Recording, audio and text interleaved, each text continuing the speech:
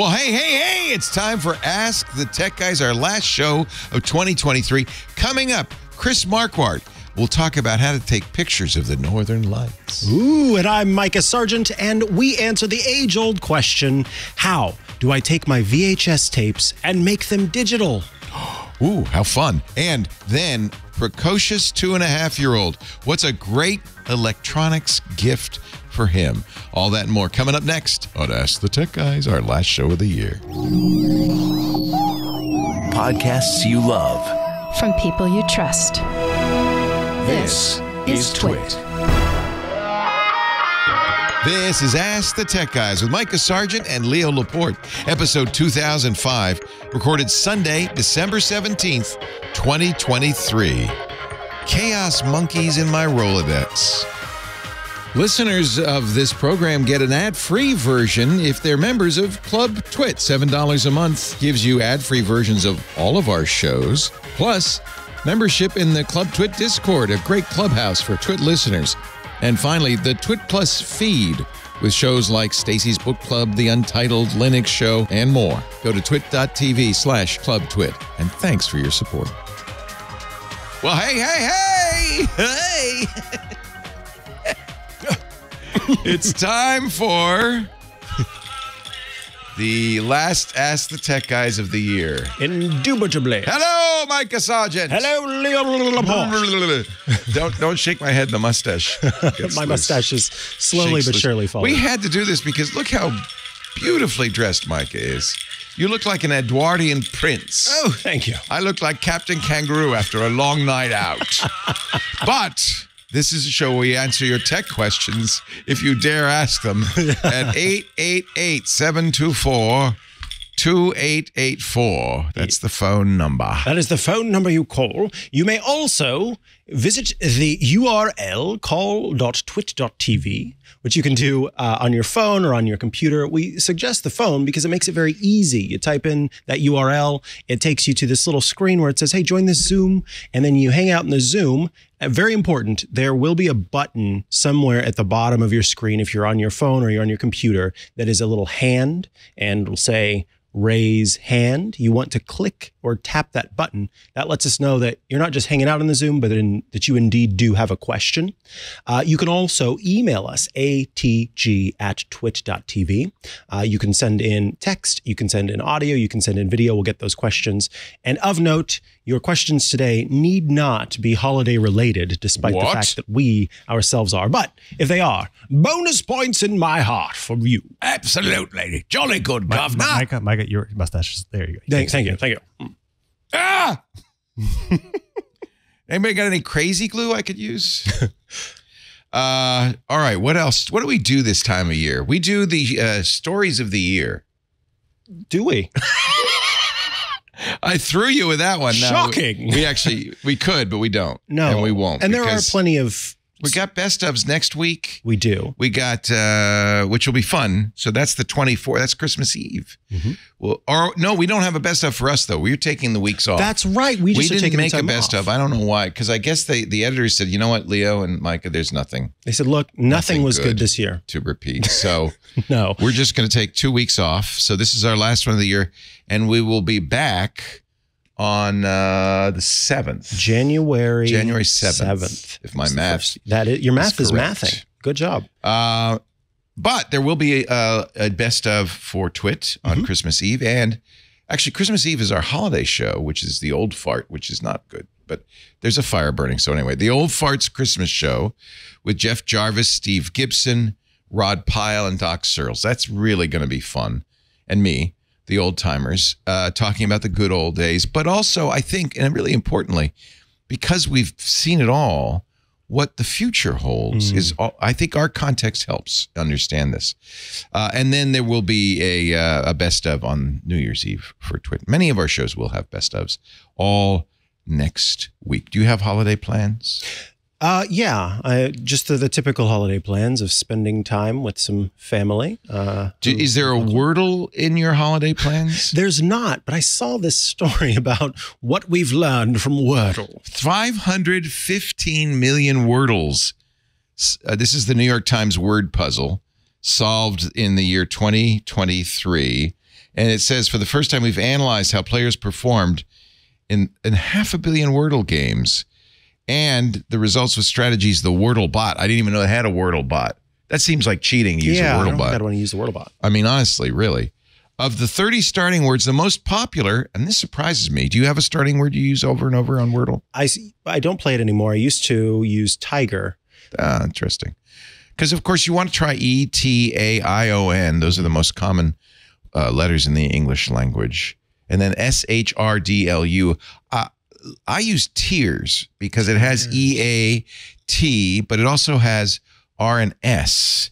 And S, I feel like, and especially if you get an S at the end, that eliminates the possibility of plurals. Yeah, I thought there were never plurals. Um, I don't know. I, I seem to remember someone telling me that. Maybe that's don't worry about case. plurals. Well, people have been using adieu, but guess what? The New York Times says it's terrible. Oh, Do not use adieu or uh, audio. That's yours, John? Yeah. audio is. So here's the most popular. Wordle starting words: adieu, stare, slate, audio, raise, crane. So you, this is a word puzzle if you haven't played it, and you're guessing. You have five guesses to guess a five-letter word, but you get to start. It's kind of like Mastermind. You get to start with a word, and then it tells you how many are right and how many in the correct position. So the starting word really makes a big difference. So everybody likes adieu for some reason. I mean, it's eight percent. It's not overwhelmingly the favorite. I mine tears is down here way in the less than one percent category. However, starting with a adieu or audio, John puts human players at a disadvantage. And by the way, what the hell? Who cares if it's not a human player? Forget the non-human players. yeah, I don't care about. Them. I don't care about them. Uh, so if you start with, uh, compared to starting with slate, which apparently they think is a very good word, adieu will give you 132 extra guesses over a 12 month period. Uh, 10 extra guesses a month this really feels like it's. over Uh, what is that? Navel gazing. Navel gazing. It is. But you know what? It made the New York Times a lot of money. It did indeed. so Their navel is full of gold. it's a golden navel. That's why they're staring at it. There's staring. Yeah, I'd stare at it for my game were If I looked gold. down and suddenly you? there was gold Whoa, there? there's gold in them there navels. Did you see the story about Mark Zuckerberg's secret oh Hawaiian oh, compound? My goodness. One you of the- can't talk about it. It's secret, but somebody is apparently. Yeah, I love. Can we the the line in it? This was my favorite line, and it's very near the beginning, and it says, um, "Oh, come on, where is it?" Basically, it says, "Oh, here we go."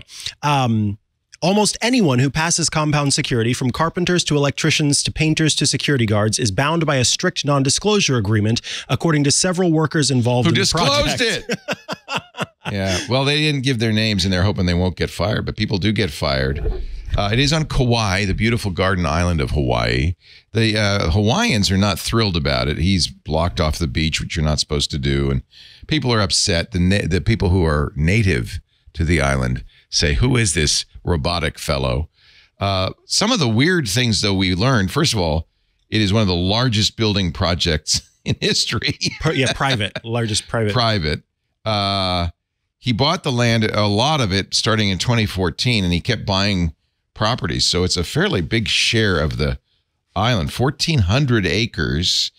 The funniest thing is there is a 5,000 square foot safe room or Mhm. bunker that is underground, which means he's planning for the apocalypse. its own power source, its own Food water, sources. own food sources. Uh, it- according to uh, Wired, it'll cost two hundred seventy million dollars in the land alone.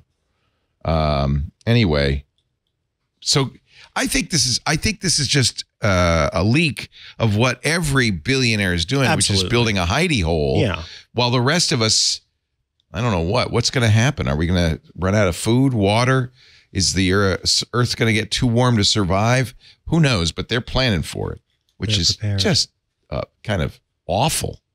I mean, first of all, what kind of life are you and Priscilla and the kids going to have underground in a 5,000 square foot bunker for years? That sounds awful. And everybody up there is dead or sick or saying, feed me. I mean, knocking on the door. that is, Let us in. you know, would you want to do that? No, No, I'd stay up with the rest of the people, do what I could to help. And if it, you know, if if uh, I starve to death, I starve to death. But I don't want to live in a five thousand No. That's crazy. It tells you a little something about the the uh, psychology. You know, some of them are reconditioning old ICBM missile silos to uh, be, you know, un- again underground. It was the it wasn't it the plot of Silo that uh, Apple TV shows they're all living Mhm. underground. And who's that? Is oh, this is uh this is my favorite Fallout 76, isn't it? I love this. Four? 74? Four. Four. Fallout Fallout 4. 4. Okay. That's your little robot friend. Did you play that game excessively? Is that why you I played three. Four was eh. I like 76, although I know it people didn't like it, but I liked it. Yeah, it was it, it was okay, but just wasn't the same.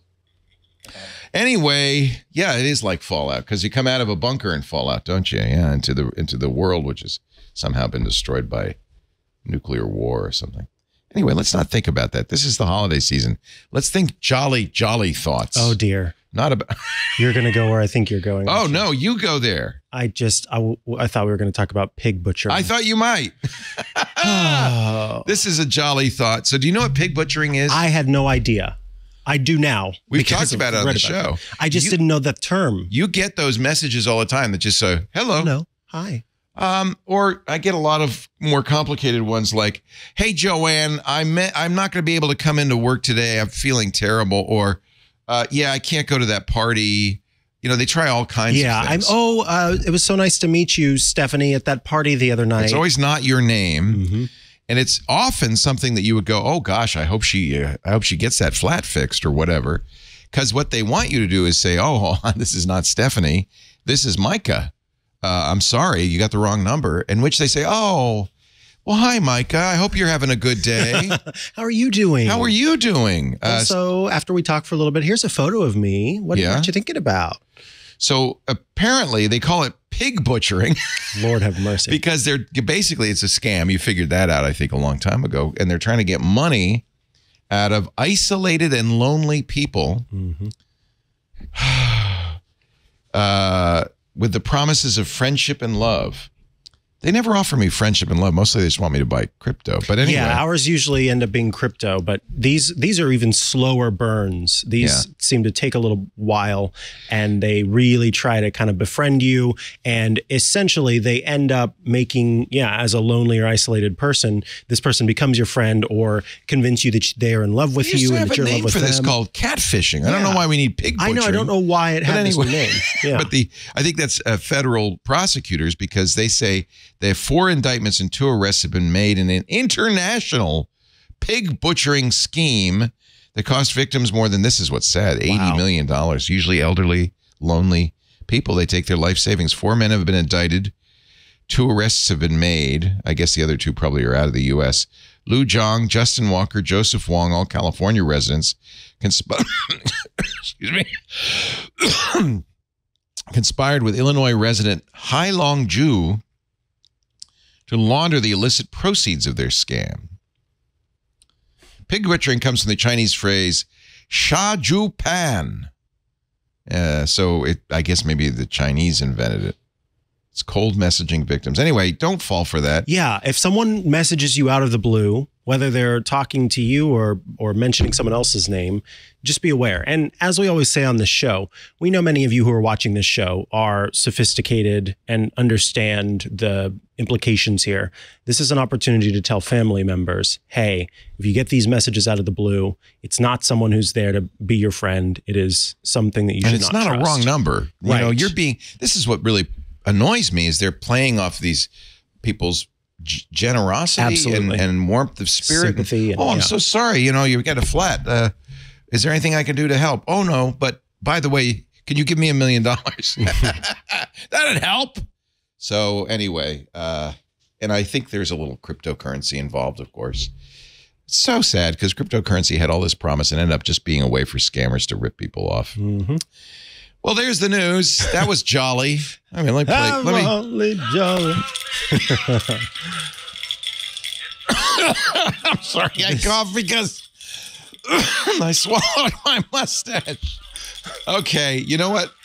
Gonna retire the old I think I, stash. I think I will too. In fact, Oh. I should retire this hat. actually ripped that time. Did it? It actually was sticking. It's stuck. of all the things, you don't want it to fall off, and then when you do, you can't. 888 724 2884. We go to the phones as soon as my hat stops. Is it done? Are you done? All right. Let us, uh, who should we, John Ashley, boy producer, has, I has, some- thought we were agreeing that we would only do the boy producer for one show. I did we agree to that? I think you did say that. Oh, all right. hey, old man. What's up? okay, old man. Um, Yeah, I'm the old man. well, you call me boy producer, so it's only fair. Uh, let's pick up on a, a wireless caller. Let's press the button and see what we can get on the old horn. Get on, get on. You ever say that? To go, get get on the horn. Get on the horn? Get on the horn. I don't know where that comes from. I think it's horn shaped, right? I think it's more like Trumpeting your announcement. yeah. Get on the horn. Ah, I got Oh, maybe because think about the old phones where it was kind of a horn that you spoke into. You know, you hung it on the side. Oh, yeah, had it to was- roll the thing. Hello, Martha. Give me uh, give me Joe. Um, caller, press star six to unmute and say hello. Hello, Leo. Hello, Micah. Hi, what's your name and where are you calling from? First name. Uh, this is uh, Kenny from Cottontown, Tennessee. How you Oh, guys my doing? good friend Kenny. Hello, Kenny. Cottontown Kenny, we call him. Uh, I don't know why. What's up, Kenny? Oh, that's because I live in a city called that. But Oh, anyway, that's I have a net. That's right. anyway, I got a Netflix question and a little IT story I wanted to tell you guys. Uh, so last Friday, I was toying around with uh, at work. You know, we have uh, a company agreement with HP to provide laptops to all the supervisors that I work with, the managers and so forth. And one of them, you know, our company occasionally has the IT group throws out like these uh, software updates on occasion to update uh, systems. And apparently, what had happened was is that it accidentally bricked one of the older laptops that they had, and we were trying to figure out what it was. And and normally in the cases like that, when you have something like that, it always has something to do with power. And sure enough, it was low on power. And thankfully, I found a good power supply. Initially, it had USB-C port, but it did not use it because it was an older one from 2018, where obviously it couldn't just you know charge. And so, thankfully, we had a, a port where I could put it in there, and we are able to get it to where it could update, and it works fine. But this uh, manager was kind of worried about it for a little bit because he didn't know why it wouldn't turn on. As it turns out, it was in sort of a hibernation mode.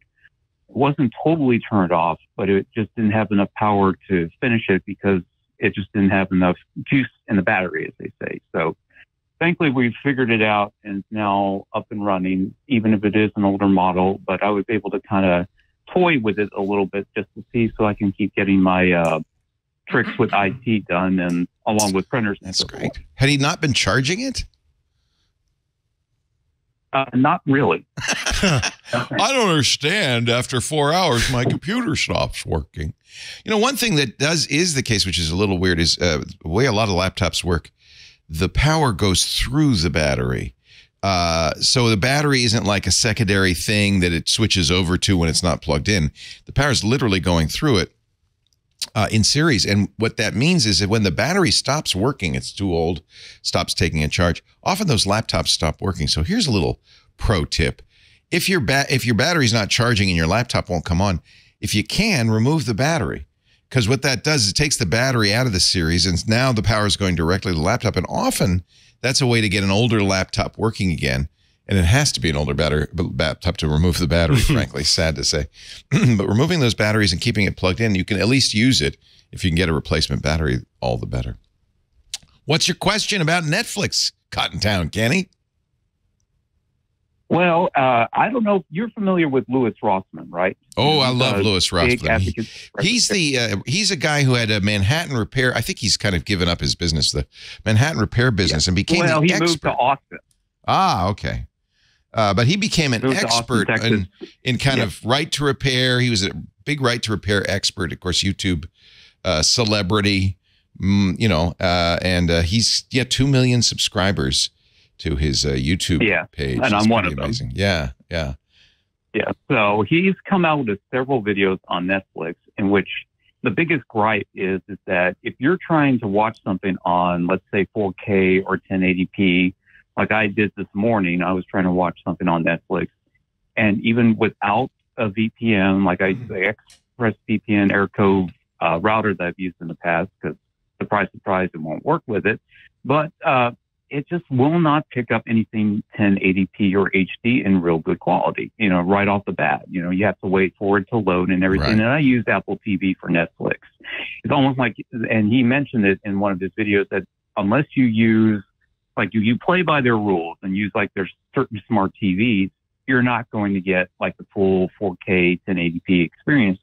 And he kind of called it out on that per se. And I guess my question is to you is, is there a reason why Netflix streams well on certain devices and not so nice on others? It used to be, and maybe this has changed. Uh, but here, I have a little problem with most of these YouTubers, including Louis, which is uh, they get views by being outraged, being Mhm. angry, being there's something wrong. It's sort of, Mhm. so it's all about you know, boy, that'll really wear you down after a while if you're angry at everything all the time. So I think that just like spending too much time on Twitter, spending too much time watching these angry YouTube videos can really wear you down and make you think the whole thing is falling apart and the crap shack's going to hell and guys know. and they and not and you pretty soon you become an old man yelling at the clouds. So just a word of warning: uh, you don't be like me. Uh, you know, watch some upbeat stuff every once in a while. But YouTube really kind of the algorithm kind of pushes them in that direction. In any event, it used to be, and I'll have to check and see if it is that actually the best way to watch Netflix was on Apple because so here's how think about how Netflix's uh, architecture is. You've got Netflix Corporation, the home office with all those movies on servers. Now, they probably, in fact, I'm sure they use a CDN. So those movies, just like for us, are moved out to a, the edge closer to you on a CDN. And CDN has a copy of the movie. And so the movie's going to play back from that server. Apple, because they wanted the best quality, and this used to be, and I think it's still true, said to Netflix, forget that. We'll be your CDN for Apple TV users. They use Akamai. And we will, because we want the expe- ex- experience to be the best on Apple TV, cache all your movies. And they won't be coming from you or your CDN. You won't be competing with other Netflix users. They'll be coming from Apple directly. And that in the past has always given Apple the TV the best, uh, I think, the best Netflix quality. Netflix quality does go up and down. It depends on your bandwidth, of course. And this is the problem. It's hard to see where in the chain this is falling apart. But I've had good experiences with Yeah, Apple TV. I, I used to have this issue where it would take a while to load. And once I just plugged in with Ethernet uh, with the new Apple TV 4K, I have no issues with Netflix loading immediately. Only in rare occasions where you know you, you hit that perfect time where everybody else in the vicinity is also watching will I get a blur from time to time. But outside of that, yeah, I and that was switching from using Wi-Fi to using Ethernet. That really, of course, made a difference. As I you would do expect. that on all of my TVs. I, uh, w- w- you may remember a few years ago we went and had somebody cl- crawl around in the attic and drop Ethernet Mhm. to all the places where TVs are because always hardwired Makes a is huge better. difference. Always, but and so that's Yeah. one thing. Uh, Netflix quality itself, I think, has often been slammed for being over compressed. Mhm. Uh, I think that's what Alex Lindsay has said. I haven't noticed that personally. Yeah, I haven't had an issue with it, but maybe I'm just not as This is why it's hard to it's hard to assess Uh, sensitive. because it could be Alex is watching on Wi-Fi. You know, we don't know. yeah. We don't know what everybody's exactly exact situation what's is. going on. And that goes back to your point, Leo, with the YouTuber thing. I think a, I, I've seen this a lot with tech reviewers in general. Is a lack of uh, what boils down to empathy, meaning that they end up believing that their experience is everyone's experience. Yeah. And so if I have this experience, that means that this is the way it is globally, and I'm going to complain about it in that way. And it happens to be the case that, you know, you uh, identify that this was a problem that you were having as well. And so it works in this case. But simply because one person is having an experience does not necessarily mean that it's uh, global, worldwide. And you're going to find people who say, no, I, like I just did. No, I haven't had this issue. So yeah, I, I don't. This is a problem we have and we always have to fight with Mhm. is our own tendency to say whatever's happened to me has happened Is to everybody. yeah, that's and human vice nature. versa. Oh, to- it never happens to me. I don't know what's wrong with you. Mhm. And so, uh, yeah, it's human nature. And uh, it takes, uh, it's one of the reasons experienced tech journalists often are better because they've spent a lot of time learning not to do that. And they have had, ed- in the past, they used to have editors. Nobody has editors anymore, but they used to have I wonder. I'm looking for Netflix uh, network architecture because uh, it is a very interesting architecture. You know, they use ISPs, for instance, uh, as uh, also as as their CDN. So Oh, big. ISPs like Comcast will have a Netflix server on prem, which you're getting it from. Um, here's a let's see. It looks like here's a here's a network diagram on LinkedIn, and it is it is crazy. But if you think about it, to me, this has always been amazing is how the network architectures for play massive operations like Facebook, Netflix, Google, what they must do. And and really, you know, and people I hear people, including Louis Rossmann, saying, you know, Netflix has taken five seconds to load a YouTube video. It just cracks me up because I come from a time when five seconds, wow, it would buffer for a minute before it would start playing back in the real, vi- you know, real days, the real audio days. So, uh, I, you know, if Netflix is, I mean, if uh, Google's slowing it down, that's a different thing. But this is an interesting uh, article from Tech.bit. Uh, it's called Inside Netflix: A Deep Dive into Its Cutting Edge System Architecture. Uh, I find this stuff fascinating. This one's from October, so it's not too old, which means it's probably a fairly recent. Uh, let me see if I can open this image. Um, oh, now it's doing all the all the things everybody these days has to do to survive, including us, popping up a newsletter thing. But this is an interesting architecture. You've got Open Connect, which is Netflix. In fact, there's a good hmm. article about Netflix Open Connect. This is their uh, system. This is kind of for doing this, and you look at this crazy architecture. So, you know, I think it depends on so many things, not just your home network, but your ISP, mm-hmm. whether your ISP is caching Netflix for you, the device you're using. Somebody in our Discord saying they like Netflix best on Roku. That may well be, but it, but who? But why mm-hmm. is that? Right. So all of this is very complicated because they are serving so much data to so many people for a long time. Uh, maybe this is still the case, especially if you had a cable internet. It would get slow around 7 p.m. every night. Mhm. And it was because everybody's watching Netflix, Mhm. which is one Yeah. of the arguments Netflix has for Comcast and others to have a Netflix server in their facility because that speeds things up quite a bit. So it, I wish we could say oh, we know categorically what's going on or what the best way to watch Netflix is. I don't think it's as simple as that. It There's isn't. so many devices involved. no, Yeah. no, that really is really a good example really just how the internet itself works, regardless of whether it's Netflix or YouTube or even Twit. I mean, it just Right. it takes a lot put together. You've heard us talk about CacheFly. That's our CDN. Netflix Open Connect is their CDN. That's the one where they put servers uh, in ISPs if they can. Uh, not all ISPs go along with that. Most of them do because it's good for their customers. It's, yeah, exactly. That's It's- saving them customer support it's calls. so complicated, uh, and uh, you know Mhm. they have uh, they use Chaos Monkey, a tool that randomly terminates instances to make sure that your system can tolerate failures. Uh, they they're doing so much stuff, and I have some friends who do this kind of thing for uh, uh, Facebook and other companies. You have a few Chaos Monkey friends? I have some chaos monkeys in my uh, my Rolodex, and I have to say, it is a highly paid position because you're doing Yeah. magic. You are doing magic. Yeah. So, um, uh, but so much magic that it's almost impossible, Kenny, for us to know what the the path Oh, from yeah. Netflix to you is. That path has a lot of moving parts.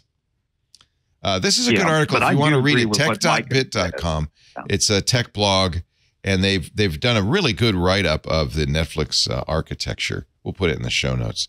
Uh, there's a lot of information in here, and uh, and it really Uh-huh. is it's quite impressive. They also have ways you can ping it and so forth if you'd like to check. You know, you could spend some energy Mhm. figuring out what's going on with your connection if you really care. That's cool. yeah, yeah. So yeah, That maybe is you should check that out. And uh, This is a good article. Give it a I, yeah, I'm I'm very impressed. Yeah. Mhm. Chaos Monkey is a tool developed by Netflix to randomly break things. That's a good name, isn't it? it is. Yeah, In conclusion, that sure is. he writes Netflix architecture is an intricate blend of cutting edge technologies and strategies designed for global scale fault tolerance and a high degree of personalization, making it a leader in the streaming industry. Behind every play button on Netflix is an intricate web of technologies and strategies. Uh, I think that's fairly uh, fairly accurate. Yeah. I bet you Netflix has a white paper on this. I know they do on Open Connect. Mhm. Uh, I bet you there's other places you can you can read more about uh, Netflix. Interesting system. Yeah. Hey, it's good to talk to you, Kenny. How's the how's the work going? You liking it? Oh, it's it's going good. It's like you said about uh, making magic. That's kind of how they feel about me whenever there's an Nice. issue with like a laptop or printers. You know, like it's like I was just saying to Mikah. You know, I always hardwired the printers at our workstations Yes. because we can get things done fast as Yeah. Wi-Fi. So that advice does go into effect not just with printers or Apple TV. It's everything like that. And I do want to say I did watch Oppenheimer on Apple TV yesterday, and I know you guys were talking about Chris Nolan and how he uses audio and the sound quality. I didn't have that much of a problem with it when I watched it. That's because I probably have it hardwired. Surprise, surprise Yeah. with a Sony speaker. In fact, everything I have, audio and video, is Sony. And it is sad that, you know, Sony is kind of, I don't want to say he's totally given up on TVs because of Samsung. You know, Samsung's really kind of taken the market per se, but I've always been a Sony guy for many years. And I've always felt like they make good quality. And hopefully down the road, they maybe will make good quality products as far as audio again. But it's a long trip for them to go if they want to challenge Samsung. But yeah, I always felt that like watching Oppenheimer, I had no problem with the audio. I guess it just depends on what you use per se. Well, let's not forget, as Scott Wilkinson told us, the uh, best TV of the year in the TV shootout that they do every year, the Value Systems TV shootout, was a Sony. So Sony's still making the best TVs. Thank you, Kenny. Thank you so much, Kenny. Take care. All right, you guys have a good day. Merry Have a Christmas. Happy Merry holiday, Christmas. Cottontown Kenny. Cottontown Kenny. Why do we call him Cottontown Kenny? Why? Because he's from Cottontown. Oh, I thought nobody knew. no. All right. Okay, Wunderkind. It's not better, is it? I mean, it's better. Um, Young and bright. That's great. yeah. Yeah. Actually, you want to uh, answer a, uh, answer an email? oh my gosh. Now, I think I might have misarranged this. Did you? Oh, you you came around here and snuck around? Well, we were also busy. Is Rob's the one I should start with? yes. Okay. so I need my monocle for this so I, I can so. read it. So you can actually see it. Yeah. Rob writes, Great show. Thank you so much for the education. I still remember watching your show on cable. Yes, remember cable? I do. Cable. I loved that. Clark Cable, I think his name was.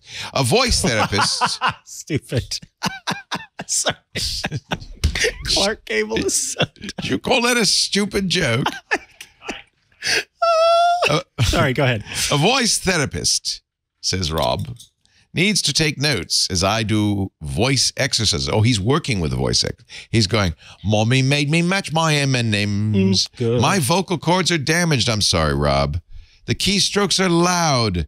My focus is distracted. I told the voice therapist there are keyboards that have quiet key clicks. The voice therapist says, What? I want to know what brand to buy. He loved the idea, but I couldn't find info on the internet that was reliable. What keyboard would you recommend? A mushy keyboard. So uh, this is actually, you know, get us going on keyboards. You're never going to get us to stop. You and John. I don't care. What We love our keyboards. Yeah. So uh, this is a big question. Most modern keyboards are quiet, by the way. I should point out. So your therapist is using some some old keyboard that he probably really likes, but is a clicky keyboard. The original IBM uh, OmniKey Northgate OmniKey keyboards had what we called buckling springs. John C. Dvorak used to sing the praises of a buckling spring keyboard. You can't get really buckling springs anymore. Where'd you put? Ah, you're there. You can't really get buckling springs anymore. But the good news is there are lots of companies out there that make switches Mhm. that are different, have different characteristics. Key travel is one of them. Uh, the bounce of the key is another one, and the audible click is another. The buckling keys were very loud, and you remember, in fact, you probably still hear it when you're on the line with, uh, you know, air, airline reservationists, or you're at the desk there, and it's because those are buckling keys. Those are old terminals that have big buckling key keyboards. I like them. They're good for carpal tunnel because you're really working. Uh, it's not smaller. Apparently, smaller movements are worse for you. So you're moving your hands more and you're working a little harder. Uh, so there's a couple of things uh, to say about that. Uh, honestly, most laptops are pretty quiet. Yeah. Uh, if you're there, if you can hear it, um, I I'm, I don't know if you're on a call or not. If the therapist microphone is in the laptop, then you will hear it. You will absolutely hear it. We have this problem sometimes, occasionally, with uh, some of our guests on our shows, where they are not using a standalone mic. You notice we always try to use a standalone mic. They're using their laptop mic, and you and you you hear banging on it. Remember how Stacy, you could hear her bang like crazy on the TWiG because she was a loud typist. So maybe your therapist is a loud typist, or maybe you're on a Zoom call. Your therapist is not using a separate mic. Yeah, and another thing along with that is even if there is a separate mic being used, if it's on the same desk or table as that keyboard and they are a, a hard typer, then that will also oh yeah, they'll go right through it. dunk, dunk, yeah, dunk, we dunk, call dunk. it tele telephoning, telegraphing. telegraphing. That's it. Yeah. So, um, but we have, they've provided me with some fun keyboards. This is the keyboard I personally like, which is not a quiet keyboard, but this is the Keychron. Uh, you can spend this is I think a three hundred dollar keyboard, which is crazy because you can buy five dollar keyboards, and the five dollar keyboards are quiet, by the way. but this this one of the reasons I like Keychron. First of all, this thing weighs five It's very heavy. pounds. You it's could heavy. do some workouts with it. Uh, it also has some features that I uh, prefer. It's a wireless, but it can uh, pair to multiple Bluetooth key computers, so it can easily switch computers with it. Um, but the other thing is you can choose the keys. And now Keychron has its own keycaps that they use. There are a variety of companies that make different keycaps. This is a, I this is love a that thing. tester. I love it. This is so great. Is this yours, John? Yeah. This is a tester for a company called Cherry. Uh, keyboard, and by the way, go to Reddit r slash r slash keyboard, and you'll and you'll You'll find your people. Mechanical keyboard. mechanical keyboards even better. You'll find nut jobs. Right? you'll find people who really take this stuff seriously. I'm a little. I'm a dabbler. So this is what this is. Cherry sends this out. This is a sampler of their different. They have different switches. It's like a chocolate sampler. It's a sampler. So they have speed silver, black, silent black, red, silent red, tactile gray, brown, silver, other, no, no, clear, green, blue, and white. So you can try them. I'll try it. Let's see the silent one. See how silent that is. That's silent. You want to hear a clicky one? Here's a. Hear how loud that is? Yep. Oh, that's a good one. What is that? That's the cherry green. See, I like that, but it's not good on the radio or TV or for a sound a voice therapist. So maybe try the cherry silent black. And I'm thinking too, this is the unique thing about a voice therapist. When I was working with Joanna, um, Scott who- Wilkinson's Scott wife, Wilkinson's who's wife, who does uh, voice therapy, specifically, we had to turn off all of the noise cancellation features of Zoom as we were talking. So she could hear you. so she could hear me, and so that the little sounds that I was making that normally Clicking. Zoom would make go away, Yeah. she could hear. And so, yeah, you have to have that stuff turned off so you can hear those little. They can hear those little sounds that your throat might be making, your vocal cords might be making. So, yeah, you would Listen have to this. This is a cherry blue. So that I was like cherry. that. This is really loud. So here's cherry clear. Here's cherry green. Here's cherry blue. It's even louder. And here's cherry white. I used to use cherry brown and cherry red. Here's cherry red. I think I ended up choosing cherry, Cherry brown. green. If I was going to get one, I'd get the cherry yeah, green. I like the it. blue now. Wow, Ooh, that is clicky. that is. They, they maybe have like a little a little clicker in there to make that sound. There's a tiny little cricket. So that that just gives you an idea. I mean, here's you know 12 different keys with 12 different sounds, and that's just a fraction of what's out there. Cherry's not the only switch maker. Uh, so you could tell them the cheapest the key, the cheaper the keyboard, the less the travel, and the softer it will be. Those are mushy. They're plastic domes. They don't make any sound. So she could go out and just get a cheap keyboard. Mhm. But I think if you hear it, either her microphone's right next to it. Because look, here I'll make get that clicky keyboard, the clicky key, the cherry blue, right next to the microphone. Now I'll do it down in my lap. You can barely hear it, right? So either her microphone is pointing at her lap, or I'm guessing almost certainly she's on a Zoom call on a laptop Yep. using the mic on the laptop. And that means when she types, it is like thunder. You know what, Leo? What? You need to get you one of these. Whoa. That's 70 bucks. That's 72 different cherry keys. Wow. Not I just cherry. It's a variety all- of different switches. Ch- And if you go to mecha- r slash mechanical keyboard, you'll see there are new companies that make switches that people prefer to cherry. Cherry was the hot thing five years ago, not anymore. Uh, I love these Keychrons, I and they want make their own. Look at that! Isn't that crazy? I don't even you- care I'll send about you the link, Mikah. Yeah, because That's I'm a gonna lot ask of for money. that for Christmas. I think Keychron will send you the little one for free, won't they, John? No, you have to buy them. You have to buy them. Well, there you go. Uh, you don't you don't need to worry about that. Tell her to stop using her laptop microphone. Yeah, that's get her a thirty dollar headset mic that won't pick up the keystrokes. That's probably the real solution. Agreed. Good question. All right, we have time for one more. Let's do one quick, more quick email before Dick. Oh yeah, Dick will join us in about six minutes. I closed the email box. Oh, Oh wow. I thought we were done. I'm picking from the top. It's a long stack. We really got to do more emails. This is crazy. I did quite a few while you were out. Did you? Good Yeah. man. Uh, all right, this comes from Cherry. oh wow. She's the that's the woman they named the keycaps after. Uh, Cherry from uh, Oceanside. Hi, Cherry. Hi Cherry. I used to live in Oceanside. California. Mhm. Oh, I didn't know you lived As in. California b- Yeah. before. Before Way long time ago. I was five and six years old. you don't really remember. in Missouri. No, I remember it quite well. Oh, That's why I didn't ever want to live in California because I thought it was going to be like Oceanside where it was hot all the time. oh. Do you remember Cherry? I don't remember. Okay. She remembers you. Oh, she Oh, says, Hi, Mikah. No, she says, What's the best thing, she put it in quotes, to buy so I could do it myself? Do what yourself? Convert. oh, it was in the subject. Convert old home movies to digital. Oh, I have hours of tapes slash movies to convert. Well, that's two different problems. One's tapes, VHS tapes, and one is if you say movies, I'm thinking Super 8 or high, you know, the the film. What do you think, Mikey? so if you She's your friend. if you you know her. No. If you insist on doing it yourself, um, Elgato is probably the company that I would use. Elgato makes a video capture device. Uh, it is it has the standard um, what is it coaxial options as well as an S video uh, cable, if you can believe it, and then it just plugs in USB into your computer, and then you play it back on your VHS into the video capture device from Elgato. It's available for uh, just under ninety dollars on Amazon. Um, it's just called Elgato Video Capture.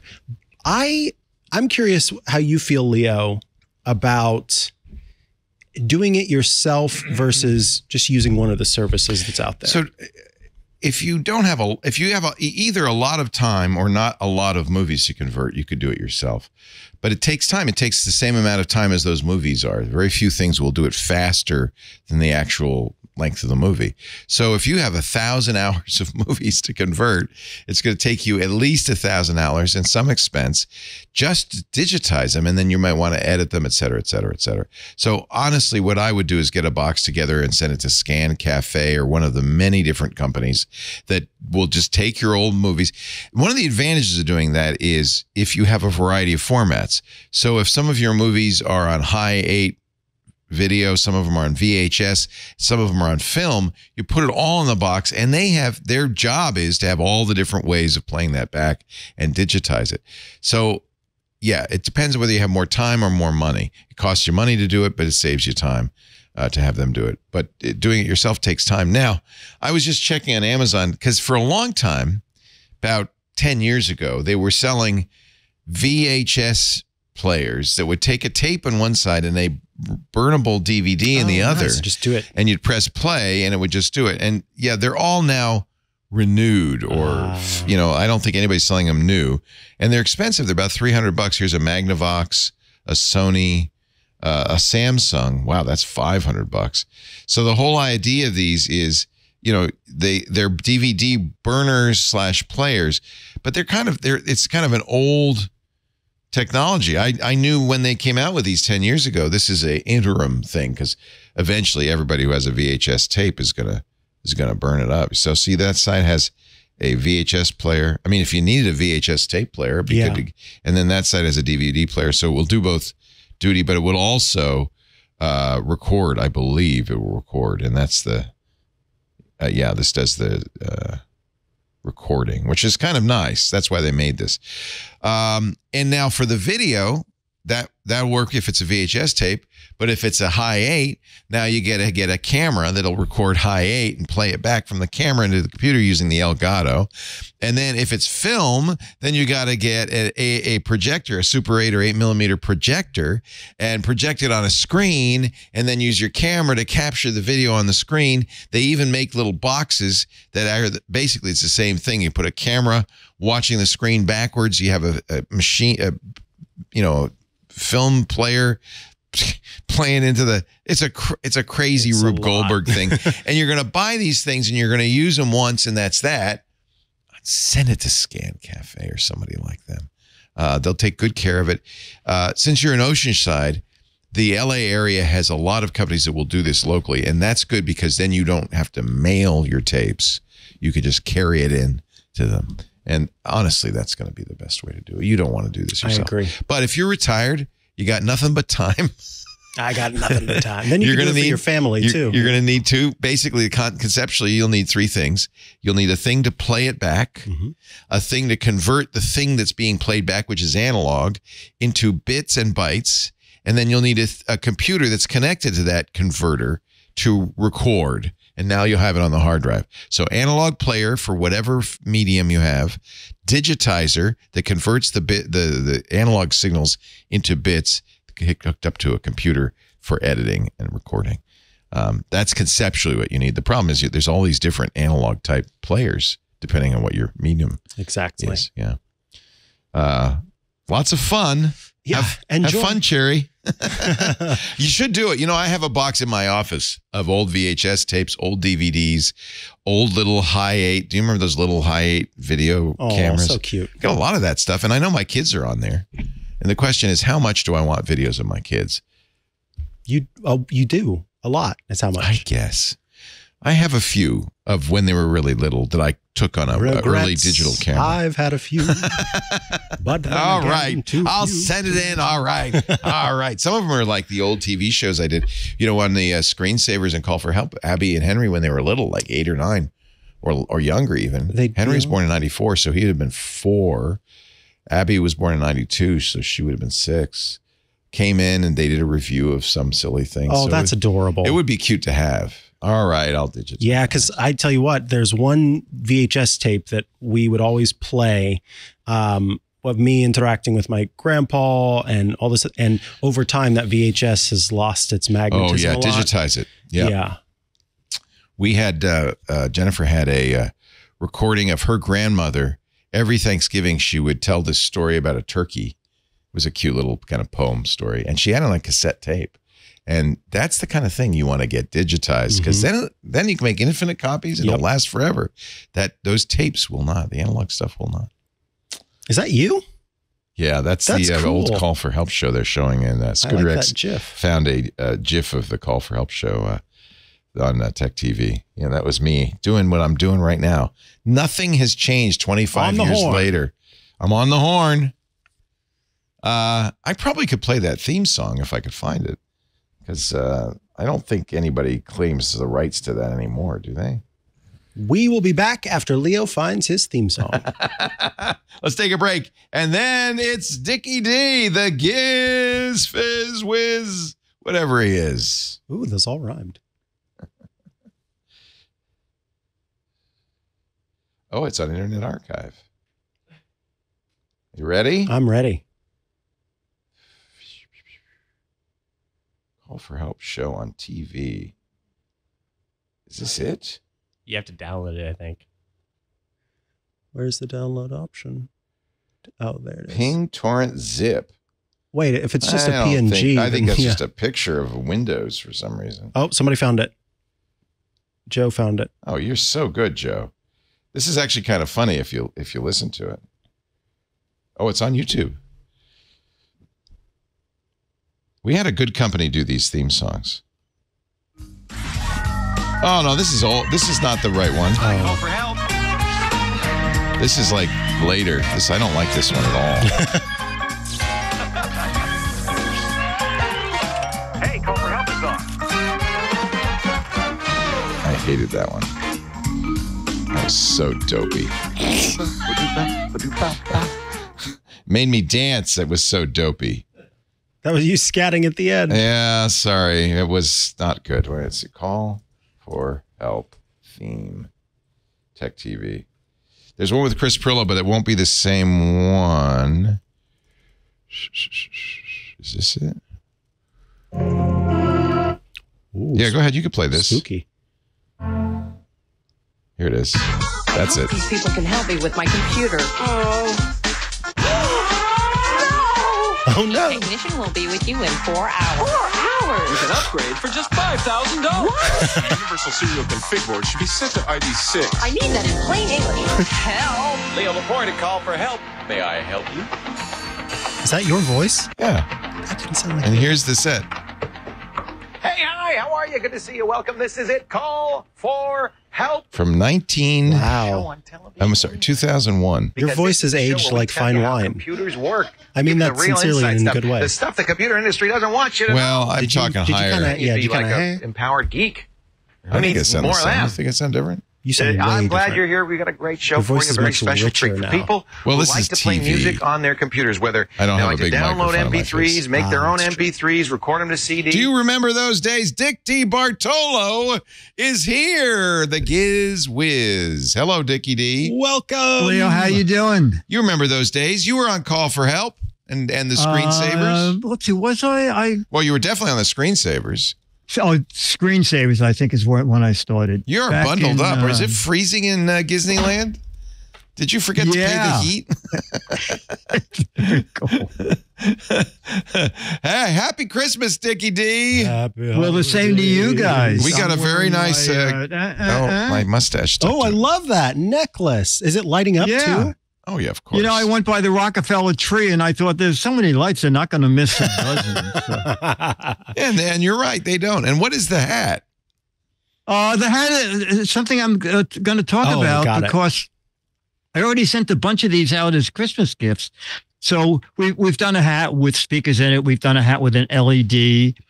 Uh, I found the hat with both speakers and the LED light and a microphone so you can take phone calls. No. And a and candy you cane. can pop. I like the fact that you can pop the LED out, and if you have an emergency, you can use Oh it as a flashlight. nice. You're basically And a the walking LED toolbox. You slide that off, and you charge the LED separately, And it's a or just plugging it into a computer, or and it is inexpensive for some reason. Gray, I I bought this one. Gray was thirteen dollars, and navy and black were, I think, sixteen bucks. Wow. This is cool. And I checked on Amazon earlier, and you can get them in a day or two. So, if you want a Not too late for a last minute Christmas no, gift. no. Or Hanukkah, Uh, so even. it's- you might it's even make it before Bluetooth. Hanukkah's over. Wow. Oh yeah, we missed that. Did- Wasn't it yesterday? Oh, maybe. Yeah. you're right. Bluetooth 5.2. yesterday. Yeah. You know, yesterday I was wearing candles, and, and I thought, you know, Yeah. yeah, the menorah hat. this seems dangerous. I think I'm. wow, this is really cool. I like this. I'm going to go That- buy yeah, I a, thought that- a dozen of them. So, how's the sound quality? The sound quality is fine. I mean, you know, if you've been listening to earbuds, you're going to be disappointed, but it's it's better. it's better than the transistor radio. Um, Okay. Okay. no, it's pretty decent. For Uh, open ear. And then I thought right? I, I I'd find something that Mikah would like. So I mean, I liked this. This is cool.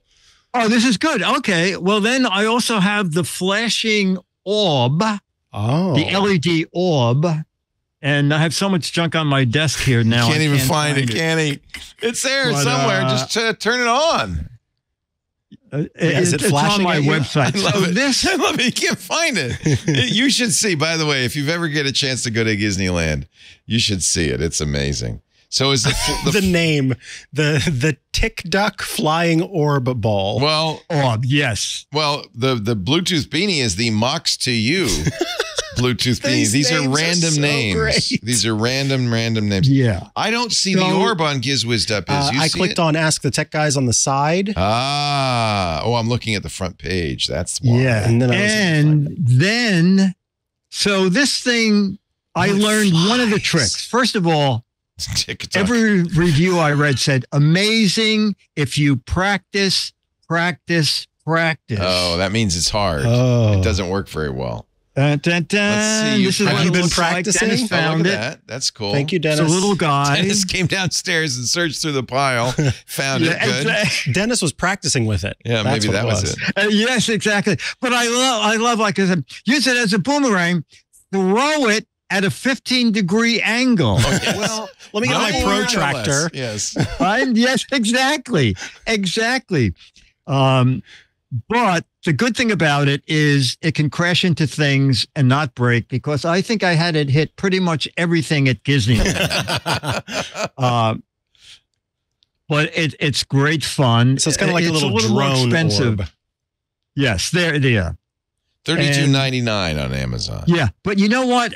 If you go to that Amazon page and scroll all the way to the bottom, it looks like they're all the same photo and they range anywhere from about $26 up to 36 Oh, that's hysterical because it's basically the same company.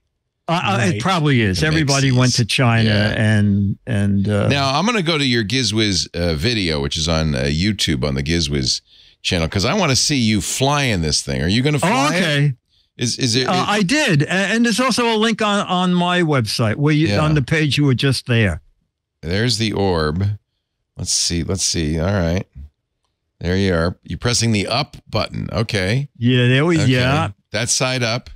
Oh, this would be great for airports. You could really confuse planes. oh dear No, lord! don't do that. It's probably illegal. Yeah. All right. Uh, so throw it, Dick. License. yeah, I know. Scrolling a little more. Are you going to throw it? Uh, uh, Let's see. there, uh, Let's see. Oh, he threw it and it hit. The motor shuts off more. if it hits something. Yeah, uh, this is the one trick I learned Ooh, is start flashy. it, start it, then hold it slightly above your palm. Oh, and it's then it'll floating. follow your palm. You're and magic. then suddenly you will lose track of it. it rolls down the hall, and it's just. It, it looks like emergency services have arrived. yeah, yeah. but it automatically shuts itself off if it, if it hits anything. I want to throw it out a actually- window. It's it's great. So fun. there are, in theory, ways to make it do more than just this. Uh, there are there a lot. You can make it into a boomerang. If you throw it at The, 15 the- the reviews degrees. are great, but all, every review says you have to Practice. practice a Yeah. lot to get it Yeah. to do the Did you did you that- do your did you do your practice? Your daily practice, fifteen minutes a Did day. you- Exactly. Dick, did you practice your TikTok today? Uh, gee, mom, I, I forgot to practice the TikTok. I forgot to practice. Oh. Well, you Hey- have a TikTok solo coming up at school, so you better Yes. practice. What's your instrument, little Dicky? Uh, it's a TikTok. I'm flying orb. Uh-huh. Oh dear. If you go to gizwiz.biz, G-I-Z-W-I-Z that's Dick's website, you will see, of course, the link we're talking about, the GizWiz visits the tech guys. And you can see those both, the the, the Mox 2U Bluetooth beanie and the TikTok flying orb. No mucks to you. No mucks to you. but if you also go there, you can click a link called "What the heck is it?" And I think you're. Are you going to end in December uh, 31st? I think we yeah, we don't have a lot that, like, longer. uh, this one's almost done. yeah, like two weeks. Well, I mean, this is obvious. This is what they put your kidney in when they're bringing it for transplants. Oh yeah. Oh, yeah, If you have a tiny kidney. really, really tiny, tiny kidney. It's a uh, it's a transportation device for uh, transplant kidney. organs. Yeah. Yeah, doll's plant. That's what it is. It's a doll trans. So if you're playing doctor with your dollies, there you go. When you rip Transplant me Barbie. Yeah, transplant me Barbie is big. Yeah. Yeah. Yeah. Oh, look what we're playing for. Ooh. This is the uh, January, February February. issue of Mad Magazine. You're mad here. Oh, I get it. Get it? uh, oh, good, good, Mike. and what is what is Dick's article in here? Because he's got Uh, one in every. see, I have two things in there. My favorite is uh, a, a quickie Uh, it's toward the end. Consumer, believe it or nuts. and Dude, does people are- remember Ripley's Believe It or Not anymore? Oh, Is that- probably not. Probably not. But That's probably in the chat room they will. yes, because they're old farts. I mean, uh, yes. Thing, things that happen you can't believe, and these are consumer, believe it or not. Um, Yale Tubster, a college student, bought a computer to help with his schoolwork. When he got home, he opened the box, and every cable, every connector, and even the manual were in the box. I can't believe it. Believe it or not. You know what? I remember reading this when I was a kid. This has been a that was an ongoing segment, wasn't it? Yes, I it, uh, love it, it. it was. It was. And- And my other favorite is Mabel Duck went to the supermarket with a bunch of money saving coupons. The supermarket had every item in the exact size, and she was able to redeem every coupon. Or Eleanor Pomeranian of Cuthbert City, New Jersey, who bought a cordless phone that provided static free, crystal clear reception in every room in her home. Believe it or nuts. Nuts. That is very, very cute. Oh, I. You know what? Dick's had a, a piece in every Mad magazine for more than fifty years, right? Yeah, like 53 years, something like that. Wow. I, no one has. That will be call Guinness because that record is never gonna. that's a once. That's and you can be a part of history for a year fifty three if you get this Mad magazine. You could of course buy it for five ninety nine in the newsstands, cheap, or get No, it. you have to subscribe. you can't even buy it anymore. You have to No, subscribe. no. Barnes and Noble sells all the specials, but not the. Oh, and there is a spy versus spy special coming out, which will be well. yeah, worth- that'll be a and that'll be. I gave once. I gave Henry uh, a Mad Magazine omnibus that I think was like it was maybe uh, all of them. It was huge. Maybe they never made that, but I. But it was, and he loved it. He loved that was when he was little. He loved it. So go to gizwiz.biz, click the "What the heck is it?" contest. How do you win this Mad Magazine? Well. That's there- the one they're playing. That's that is the one they're playing. that's the one you're playing for. There's 18, and they're autographed too. Notice uh, you autographed it right there for me, which is nice. Uh, so there's six of them for the right answer, but you're more li- likely to win if you get the best wrong answer, funny wrong answer. There's 12 of them for that. And that is the February 2024 issue of Mad Magazine. And contest, this one ends on December 31st, but there's always a new one, right? New Year's oh, Day. absolutely. There'll be a brand we new one. keep it going, even though Mad moved to California You- and is down to one person. I'm still doing it. You have too much stuff in Dick's Gadget Warehouse not to. You can't move it. It's going to live there forever. It's easier to mail it. Don't move it. Mail, Mail it. it. Thank you, Dickie D. Thanks so and, Okay, much. buddy. and don't forget, he does a great show every week with OMG Chad, Chad Johnson, uh, gizwiz.tv if you want to see the Gizwiz show. Perfect. It's a lot of fun. Thank you. Always a pleasure, Mr. D. Happy, Happy holidays, guys. What are you doing for Christmas? Anything? Uh, I'm gonna play with my hat and my orb, but that's about it. I play with my hat, and Oh, this is I what love happens. It. Gets very excited. Wow. you know, you should get a mouse trap and you can get rid of the little guy who's under there. There's something in here. I don't know what it is. Every year, Burke has to change the battery. That's all I know. And by that, he means take the old mouse out and put a new mouse Yeah, in. well, you know. Thank you, Dick. Okay, bye. Merry Take Christmas, care. bud. Take care. Bye bye. Burl Ives Estate is going to sue us for this, but that's okay. Uh, let's get another uh, caller. What do you say? What do you say? What do you say? All right. Uh, let's pick up on Wes and Wes, Zoo. Wes. got his hand up. Quest. Very patient fella. Wes, come on down. Did I not do the right thing? I see Wes. Pressing, pressing. Maybe my buttons don't work. It turned it red, but I can't. That doesn't seem to send him to the breakout room. Yep. Wes is moving. Wes is on the move. He's on the move, just like my mouse. Wes. Where's where are you calling from? Uh, DFW. Oh, nice. Dallas Fort Worth area, where the West Yeah, I called, uh, begins. Where the West begins. They call it Fort Worth where the West begins, don't they? Sure. Am I wrong? I just where the West begins. where the West begins. you said you called a week ago. A few weeks ago, I asked you about a studio display for my wife. Ah. yes, I wasn't here for that. How did How, yes, How tell did it us go? more. How did we, yeah? How, are we happy? Are we sad? I'm calling you from it right now. Oh, Hey, you know what? That's a great picture. It's a good camera. It sounds good. I'm impressed. Where's your wife? It it was an early Christmas present for her office, so Oh, she likes nice. it a lot. Good, Oh, good. Oh, I'm so glad to hear that. Yeah, we we talked about um, you know, you had mentioned that you were thinking about the studio display, uh, but you were, you know, perhaps looking at other options. And basically because she wanted this all-in-one device, right, that had the speakers in it, that had the webcam, that had the microphone to make it as simple as possible, uh, ended up settling on that being the best option, even if many of the tech reviewers out there when the thing first launched kind of panned it as not being You know what? I think I better buy this for my wife. She has at home, she has standalone monitors and she, I gave her a fancy Audient setup so that she plugs a, re- you know, she has a high LPR 40 and it never works. Yeah, that's true. Every time we're trying to have It a never call, it's- works. And she says, This is why I want an iMac, but this is better than an iMac because she Yeah. can use her Mac Studio. She's all right. I'm going to order one right now. Oh, Is it too late for Christmas? She's been she's been bugging me for this. so Wes, you recommend it? Uh, she does. So If the wife she is does a lot of designs on her iPad, and she actually likes that she's able to zoom in and see it blown up on a much larger screen. Nice, and yeah. also, you know, colors are accurate and everything.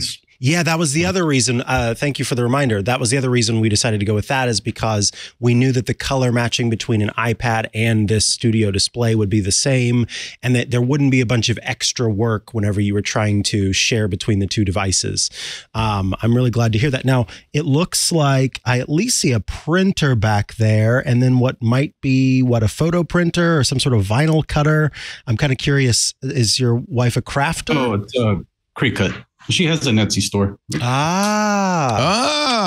oh, and she uses a telescope to look for. That is a cool No, telescope. it's more just for family. Yeah, okay. uh, what's she selling on her Etsy store? Uh, she has a design she does. Uh, it's called Nerdy Science Stuff.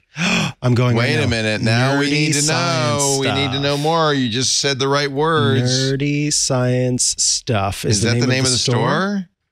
Correct. Nice. All right, let's see. I need to find a store called Nerdy Science Stuff. Let's We're still working on it. it. We're trying to attack all the different uh, STEM fields. Aren't you nice? Sweet. Is she, She's are you a laboratory scientist or is she a scientist?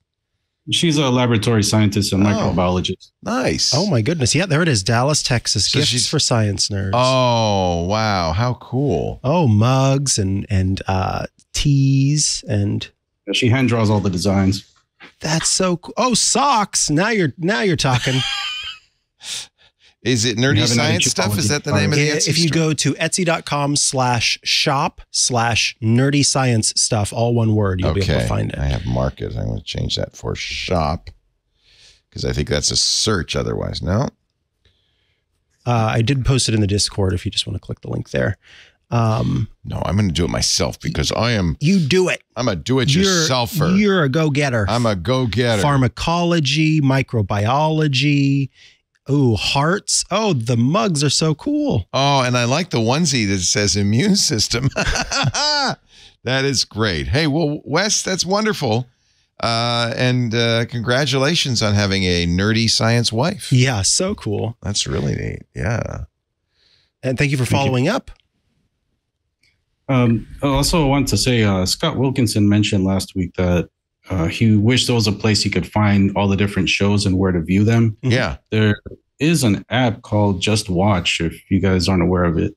Yeah, we uh, someone actually ended up calling in to suggest that uh, that day, and we found JustWatch, and we found another one. I can't remember what the other app was at this point, but we settled on JustWatch because it also has that Apple TV app that has all the links in it.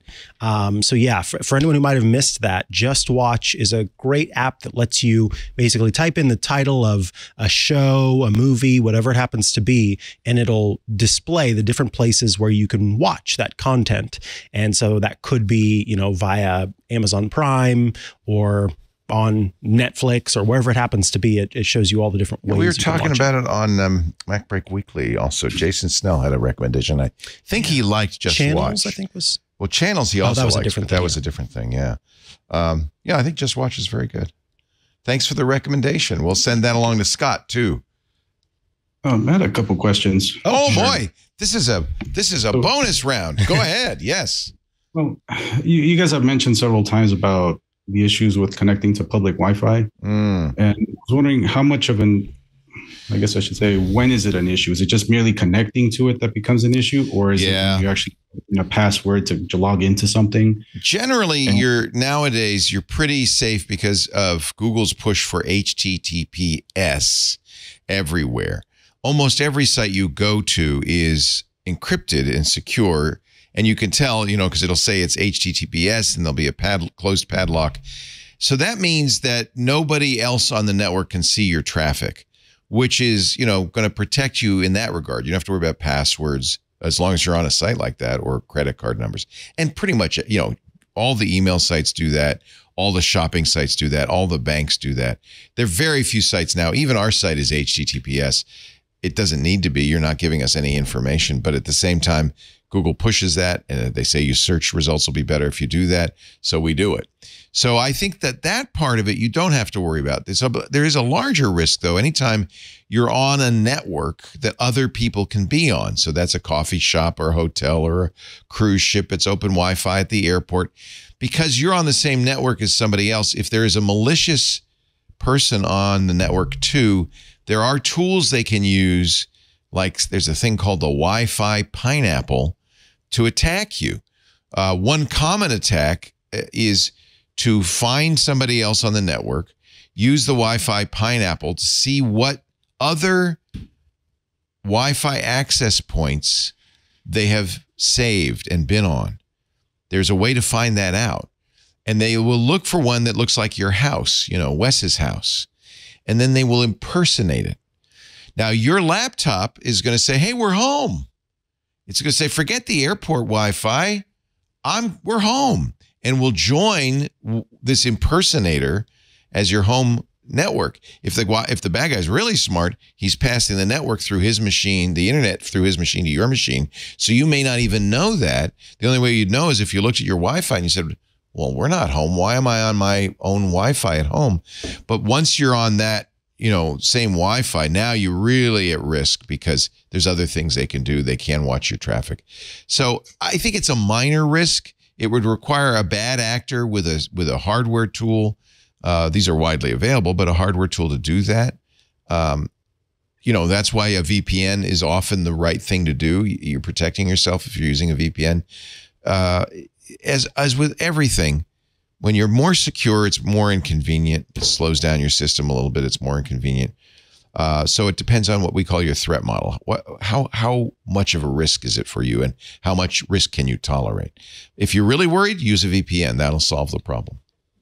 Does Apple's private relay help with this? Yes, absolutely. Uh, not quite as much as a VPN. It's not a VPN. It's Yeah, it's it's, more a- about keeping you from being tracked than it Yeah, is about completely obscuring what you're But doing. many, but you know, there are VPNs everywhere. We have a sponsor, uh, which is a very, a very good one if you want to pay for a VPN. But there are also VPNs out there uh, in a variety. You know, like your Google phones now have VPNs built in. There's your various VPNs out there that you can use with the hardware that you have. So check that out. And I like ExpressVPN. That's another one that you can use. That's our sponsor. You know, there's an Um, I have a interesting question. Okay, go ahead. Oh, sorry. Uh, this is in regard to iTunes. Sure. Um, so I- I'm usually pretty far behind on catching up with shows and movies, so I tend to buy them on sale and kind of take my time. Yes. Smart. It's twenty dollars to rent Taylor Swift's Eras movie. I don't want to pay twenty dollars for a rental. I'll wait. I'll wait. So you hear that you know they can remove those at any time, and I want That's to true. see uh, downloading them and storing them. Want to see what methods you guys recommend, and if there's any way to link that to an Apple TVs for offline viewing. That is an interesting question. So, when it comes to something that you have straight up purchased, I don't know that I've ever run into an issue where I've full on purchased something and then had it taken away. It's only with the subscription services where I've been streaming something and then it was taken away. Um, what you know, in terms of of the content that I have, uh, a lot of times I actually have it turned off to store those copies locally because it just takes up space that I'm not using. But you might turn that off. So in um, on your your Mac, you have the settings in the in this storage settings to actually say no don't automatically delete this tv show or this movie after i've uh, downloaded it to my device as far as on the apple tv that's a little bit more complicated because the way that the Apple TV works is the highest quality version is not a downloadable version. Uh, you'll notice that if you want to watch a 4K Dolby video, Dol- or excuse me, Dolby Atmos version of a show or a movie, there's the option to play it. There's not that little cloud button next to it that you can click to download the whole thing and watch it later.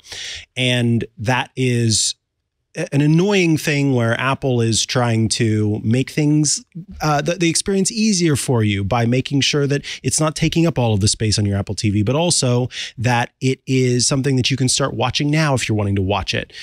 That's unfortunate.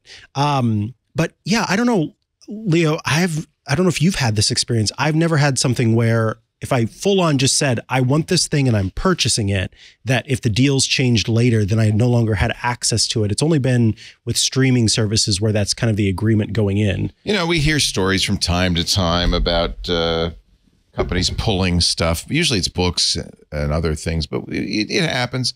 I bought a movie I really loved uh, from Apple and I got it home, so to speak.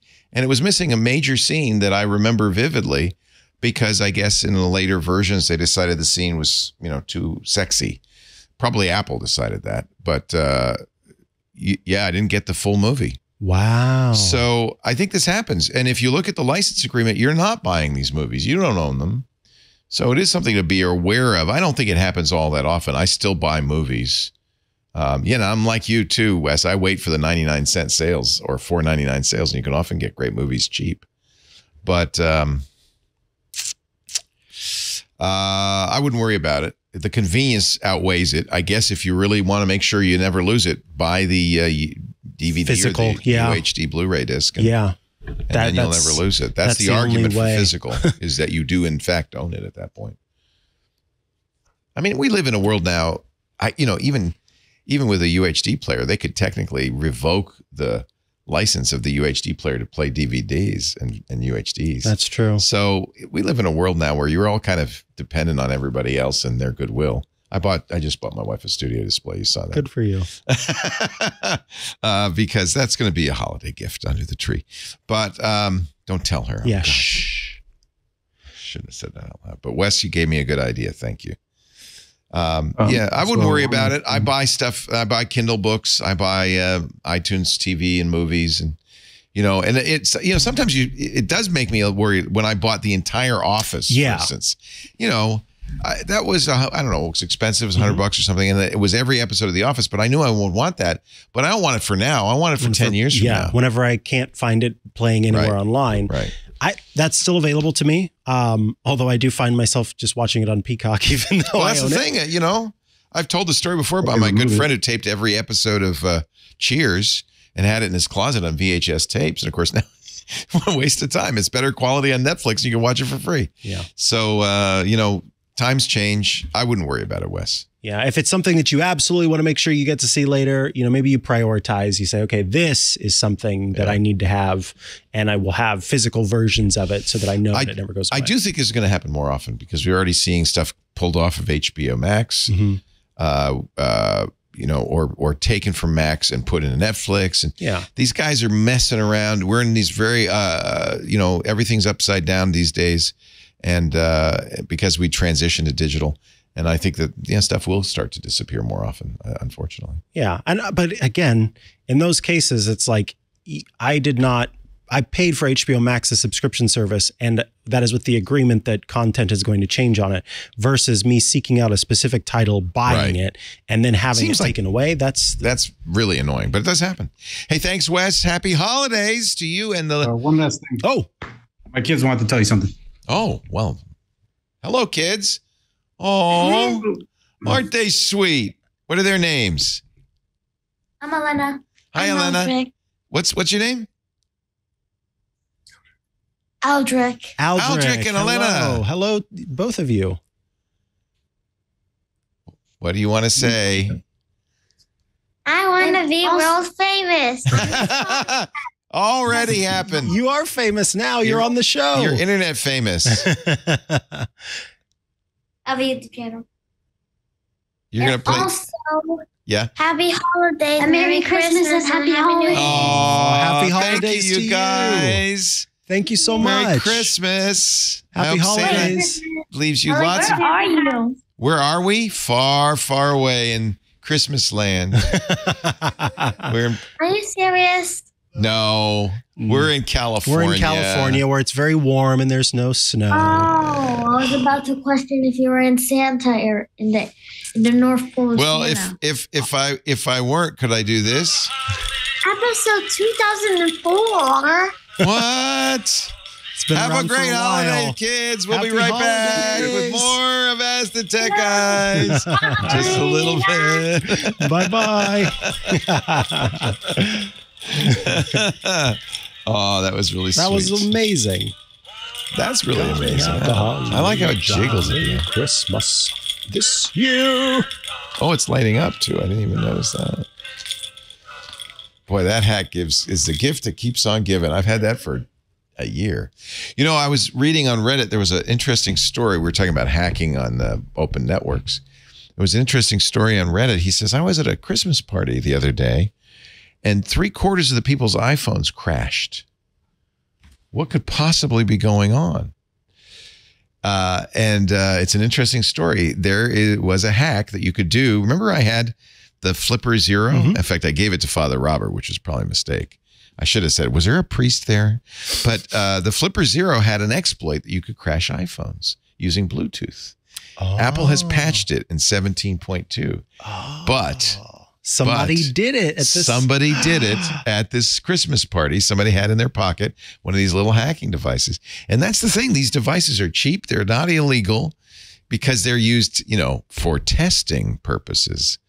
Um, so Apple, with its release of uh, iOS 17.2, made that impossible. Wow. But that party, And see, that's the other thing that we have to be mindful of is that these devices that we have are a lot chattier than you might think at first, you know, at first glance or oh, they're constant, constantly They're talking. all the time to other things. And sometimes another thing shouts at them and makes them scared and then they die. Ah, yeah, it was it was a Bluetooth exploit, and in fact, I think Father Robert actually put it into the Flipper Zero because he said, "I'm going to bring you back your Flipper Zero with some extra new features." Ooh. And this was an extra new feature. It can be modified with third-party firmware. There was a particular firmware called Xtreme that did a Bluetooth low energy spam attack that brought within 50 meters. That's 164 feet you can use a Flipper Zero, this little device, to crash iPhones. And So I think that must have happened at that party. It spams it with Bluetooth Yeah. and causes it to. Oh, wow. Yeah. Apple's fixed it. Good news. This is one one reason why you always want to do your updates. All right. Uh, it is half past the hour, roughly. Mhm. Coming up in 20 minutes, I did a do a break. In 20 minutes, we're going to uh, talk with Chris Marquardt. Yes, we are. his uh, his uh, assignment update, review and update. Meanwhile, let's you can call us 888-724-2884 or zoom us call.twit.tv. You know, I feel like I feel so guilty about this stack of emails. There are quite a few I feel emails. like we should work our way through a few of them here. What Let's do you do say? it. Let's do it. All right, these are all carefully vetted by our crack team. the boy wonder himself. L- oh, Leica. Leica writes. I wonder if Lake is an LA from LA. Should be a LA Lake. In LA.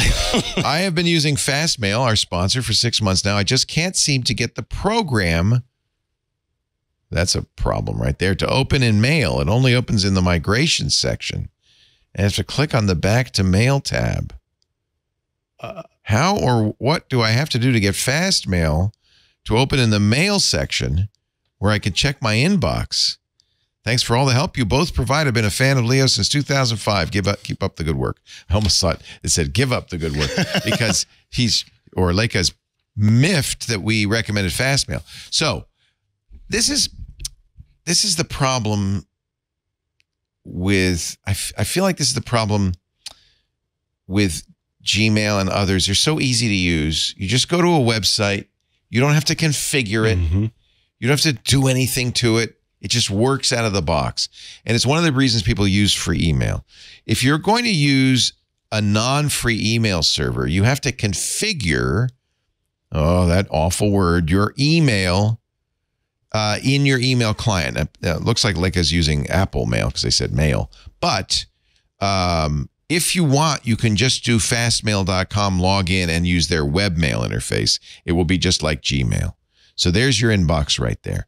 If you do want to keep using Apple Mail, you have to now go into the settings for Apple Mail and configure it. What I'm going to suggest you do uh, is go to Fastmail's help pages. They have a very good uh, page on setting up Apple email or whatever mail program you're doing. They actually have uh, have a page for almost you know for Outlook and for everyone. But uh, if you go to fastmail.help, here's the page: automatic setup on a Mac. Uh, they'll also have it for iOS devices. Uh, they'll have it for Outlook and so forth. So you're going to need to go there and you're going to need to follow their setup guide and reconfigure your email to use to work now with the server at Fastmail. So you're going to a server to download your email. Now, it sounds like you also want to keep your other email account working. And there are a couple of ways to do that. You can set it up to automatic. If it's Gmail, for instance, Gmail will automatically forward to another address every time something comes into your Gmail. You can have it be sent to your Fastmail address. Fastmail can go out and get your email from Gmail. You can actually connect it to Gmail. That's what I do and automatically download all your Gmail. So that's an additional setup. But again, fastmail.help has a lot of pages. They've done a really good job. And you can and they also have support. And this is one of the real advantages of Fastmail. You don't have to suffer for 6 months. There's actual people at the other end of the support. So they will help you get it working. I hope you do. Uh, but this is, you know, it's a little confusion over how email works. It's it requires that you connect to that Fastmail server. It's a new server for your your client. Well done. Automated setup on the Mac. Another one. Can I do another one? Let's do another one. 2FA Apps asks Kent. Hi, Leo and Mikah. Hi, Mikah and Leo. Which free two factor authentication app do, you, app do you recommend? I'd like to use one that has the most push ability. Oh, he wants to use hmm. that tap or click on allow instead of typing a code. That's called single sign on or SSO. I'm aware of Google Authenticator, Duo Mobile, Authy, and LastPass. Uh, and I use LastPass as my password manager. Yeah, it does make sense, Kent. He says, I hope this makes sense. So, uh, generally, authenticators work by providing you a six digit code that is your second factor besides your password. It's a second, almost second password that you need to get into a system. We recommend turning on two factor everywhere you can, certainly with the important accounts like your bank, uh, your email, your uh, credit cards, things like that. Now, two factor sometimes just comes in as a text message. Banks often do that because they don't have to explain how to set up a two factor app for their customers and they don't want to spend any extra money on support that they don't have to. So that's not the most reliable way to do it. I'll tell you which two factor uh, app I use, but it's sep- this is a separate thing from single sign on. Right. So if you know depends on what you're doing single sign on with. Microsoft's free authenticator does the two factor, the six digit thing, but we'll also do single sign on with Microsoft products, which I find really great. You don't need a password for Microsoft uh, products, but that's a but that's a it's kind of a separate thing from two factor. My favorite two factor app is 2FAS, 2FAS, and of course, I guess it doesn't like it that I'm wearing a uh, Santa Holly hat. Jolly hat. Yeah. Uh, I'm going to log in with the pin. So, and you can see this, by the way. One of the, let me explain how this works. It's TOTP, time one time time based one time passwords every 30 seconds these sec- these six digit codes update every 30 seconds you see there's a timer on the right there that says how many seconds until the update that's because these number these these six digit numbers come from a mashup mashup mushmash of the time of day and a secret number that you get. That's what that QR code is when you sign up for two factor is a secret, long secret number that the uh, the company, whatever it is, gives you. Uh, and so when they do that mashup, they know the long number, they know what time of day it is, they know what that six digit code should be, you know, roughly because clocks differ. So I can show you these because uh, you know they're going to change every 30 seconds. It's not going to give you any help. 2FAS is free. The reason I like it, kind of like Authy, um, is it will uh, you can use it on multiple devices and, and get when you get a new device, you don't have to go through the whole process again. Be, but instead of saving it as Authy does on their servers, you can upload to iCloud or Google Drive Nice. an encrypted blob of your secrets. That's the thing that needs to be preserved. So it's very easy, as you might know. I'm always trying new phones, so it's very easy for me to move from phone to phone. So that was important to me. I also like how it presents itself. I think it, it looks good. Um, I, I used to use Authy and I've changed from it, but that, and I think it supports single sign on. Um, but that's going to depend on Authy, for instance, supports it with, because it's made by Twilio with companies that use Twilio authentication. Microsoft supports it with Microsoft products. Yeah, oftentimes the services that do it, Adobe, for example, you have to use it with the Adobe app itself. So there'll be an app that has two factor, but also lets you do it. Yeah, Yeah. Um, I'm trying to think. Uh, Duo, he already knows about Duo. That's another one. Is another one that has its own. Yeah. So Duo is a good example, it, it- but it has to be a company has to use Duo for its single sign on, and then you won't need to do the six digit two factor. That's the fallback. But uh, something like 2FAS is really designed for two factor, not single sign on. So there you go. You might end up having several apps on there, frankly, if you want to do single sign.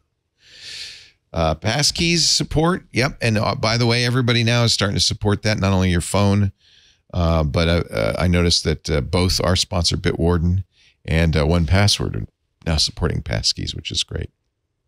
And that may end up being the future of uh, passwords. I like two factor. Me I- too. I, I want two factor, and you want you want two factor. Trust me. You do. All right. I think that's enough email. Let's take a call. Another break? You're just full of them today. We'll be right back with a call right after this. I've done I've done three now. I know I have one more to do, but we yeah, okay. Uh I was gonna do it right before Chris, but I guess yeah, that makes sense. All right. Uh who do we take, Mr. see, Boy uh, Wonder? Jeremy? You're not going to let me live that down. Uh, no, let's do Bonnie. Uh, Bonnie, a phone call. I see Bonnie. Yeah. And I see Jeremy, and I see Joey, and I see Henry, and I see Jeffrey, and I see Sounds like a book. And I see kid's Neil. Did you ever do Romper Room when you were a kid? No, that's why you don't know what I'm doing. Hello, Bonnie. Star six, Bonnie. Press star six to unmute. Oh, Oh, you hear me? I hear you. We keep calling you Bonnie, but Ah. you're you're not Bonnie. You're using Bonnie's Yeah, I'm- phone. That's your caller ID. No, I'm using my phone, but yeah, good enough. Is My your name's name Bonnie? Paul. Paul? Well, your caller ID shows up as Bonnie. Hi, Paul. Where are you calling from? Hi. I'm calling from San Diego, California. Lovely. What can we do for you? Um, I'm using an S10 Okay. and a Samsung S10 phone, and the battery is dying. Yeah, because it's pretty Oh, old. I am- yeah. So I'm looking for a replacement. Do you Funny like- You should mention Bonnie. Bonnie and and all our family uses iPhones. Aha. So I have a quandary. Aha. I go with another Android, Oh. and if so, which one? I don't like the S10 experience um, with that little button on the side and it's always throwing stuff on the screen that I don't like. I was thinking of either a, a, a plain Android experience or maybe moving to the iPhone. Well, I mean, I agree. If you're going to get a uh, Android phone, you should get a Pixel. Agreed. And I think the 6A and the 7A, uh, actually 7A is not out yet, so it's this. This is the 7. Uh, the 7A will come out mid-year. Uh, are excellent phones, and it, I wouldn't get I wouldn't get the 7 Pro uh, because it's uh, you know that's like 1100 bucks, but I would absolutely uh, not hesitate recommending uh, getting a Pixel 6A. It'll be about three or four hundred bucks, a lot less than an iPhone. So that's a pure Android experience. And yes, I think. I mean, I like Samsung phones. I have the S23. I mean, but you know, if you don't, you you know what the uh, uh, Samsung experience is like, and it, it is it is Samsunged up. Uh, the Pixel phone is pure pure Google, and I and I really like it. Um, I do think that there is an advantage to going all iPhone in your Mhm. family, as much as uh, as uh, you know uh, Google would like not like me to say that. Uh, we've been playing with this beeper program that lets you uh, get uh, a- Apple Blue Bubble messages out, and it's just not reliable. I was sending you a message, half of your responses were coming through, half weren't. Um, it hasn't updated with responses from my wife since Thursday. So it's not, it's beeper, this beeper mini thing. Don't, it's not a good solution. It's not an alternative. At some point, uh, I hope this year in 2024, Apple will uh, adopt RCS, the Rich Communications Services, which will make it work fine with, uh, you know, Android phones. But if your whole family is Apple, one of the reasons you might pick Apple is because you can ask Bonnie and others questions.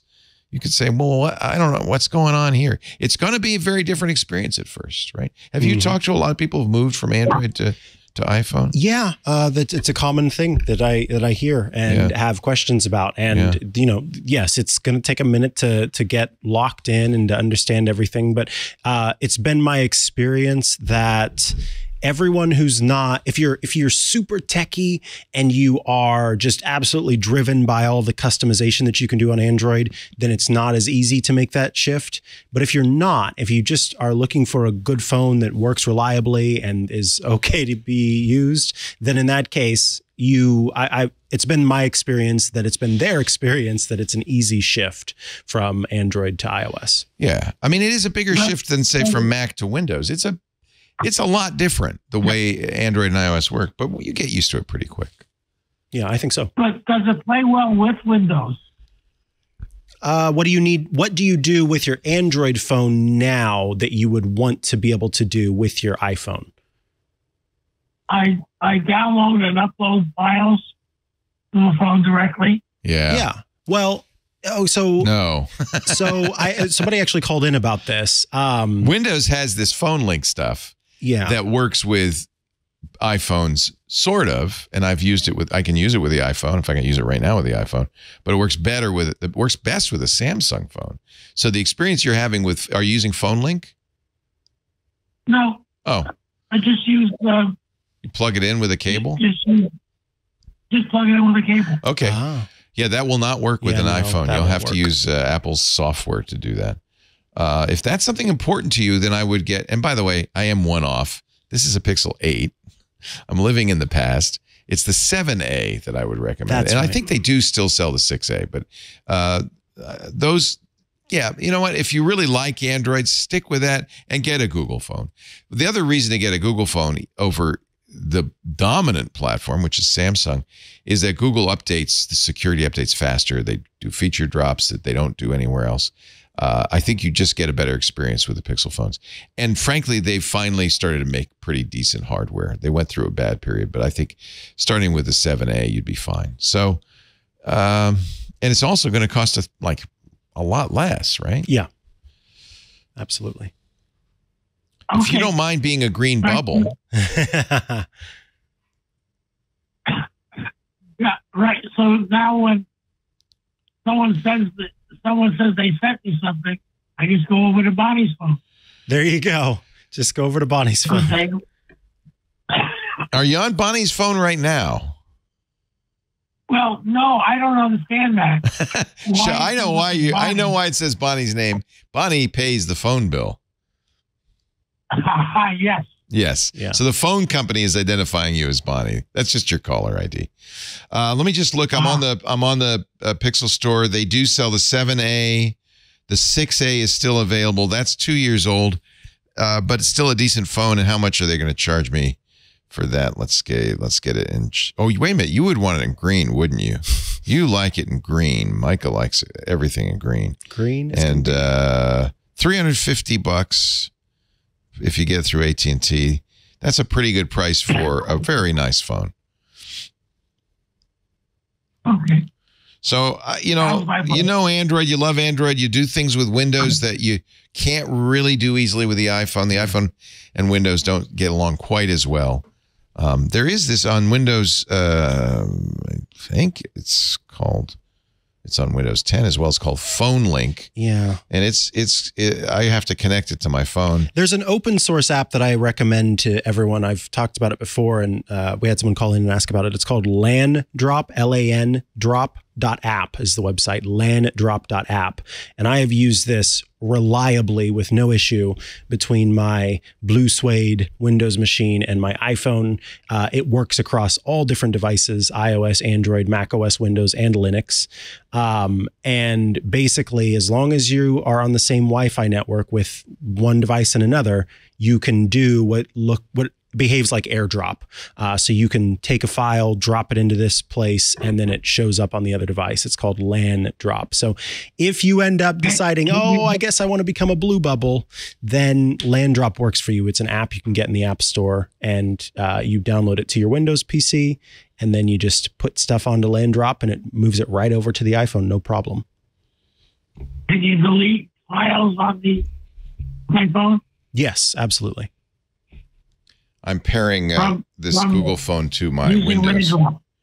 Oh, you mean so a, f- a file that you put on your iPhone, you want to be able to delete it using your Windows machine? No, you would just need to delete it on your iPhone itself. Yeah, you kind of uh, with Yeah, the iPhone, like you should you stop want thinking about using Windows at all. yeah, it sounds like Android is probably the right place for you to be if you're doing this thing where If you're this is using important to you, If you're using yeah. your phone as a flash drive, which is what you're doing, then you probably don't Yeah. want to use an iPhone. Okay. Thank you. I'm I have all these phones. I am now authenticating with Microsoft on my iPhone. Let's see. Uh and the number is 30. The number is 30 because I'm setting up this Windows machine with the allow link to Windows to send and view SMSs, allow it to contacts, allow all photos. It just works so much better with an Android phone. You could do so much more. It's very limited with an iPhone when you when you pair up with uh, Windows. But if you do use Windows with your Android phone or your iPhone, take a look at Phone Link because that is a new feature that Apple has added that makes I think makes a big difference uh, in in usability. Because now, for instance, I could be on my laptop, my Windows laptop, and see messages uh, and respond to them and so forth. So I think it's a it's a nice feature. Select a task to start exploring. No, I'm going to skip that, uh, and I'm going to skip for now. Uh, okay, so now I see my iPhone and my Android phone, and I'm gonna. But the Android phone really uh, works a lot better. It does a lot of things. It's kind of cool, really. Yeah, Uh, it is. it's you a good can interface. message with it as Yeah. if it's Yeah, it's a desktop itself. interface to your phone. Yeah. Uh, all right, one more call, and then we're going to get uh, Mr. Chris Marquardt, our photo guy, on the hair. on the hair. On the hair. On the hair. You're on the hair. Oh, I get it. I All look right. like I don't have any, but I I, thought do. it was horn, hair. but I just am going to pick up another phone caller. Neil Dutz. We'll see if Neil Diamond. Neil Diamond is on the line. Let's pick Neil up and say hello. Halle hole. Yeah. Hello, Hey, Neil, Neil. how you been? I'm mm. good. How are Hi, you, how you Neil? Been? Hi, we're doing well. Thank you. Okay, I'm out here in Arizona. We, we've talked before. Nice. And I'm kind of calling in to report back. I finally got a chance to try out the um, um, self-driving car. Oh, that's right. You're in one of the places where you have access to one of Waymo. those. Yeah, Waymo uh, taxis. Not Cruise, because Cruise is basically given up. But Waymo, nice. How do you like Waymo? Waymo, uh, interesting experience. I'm not sure you ever tried it yourself. I have not. I'm too scared know if they have to. it in your part. Uh, we do in San Well, I Francisco. finally my my yeah, I had my birthday, and so I thought, all right, I had somewhere to go, and I and I um, I'm gonna I'm gonna try it out, and it was an interesting experience.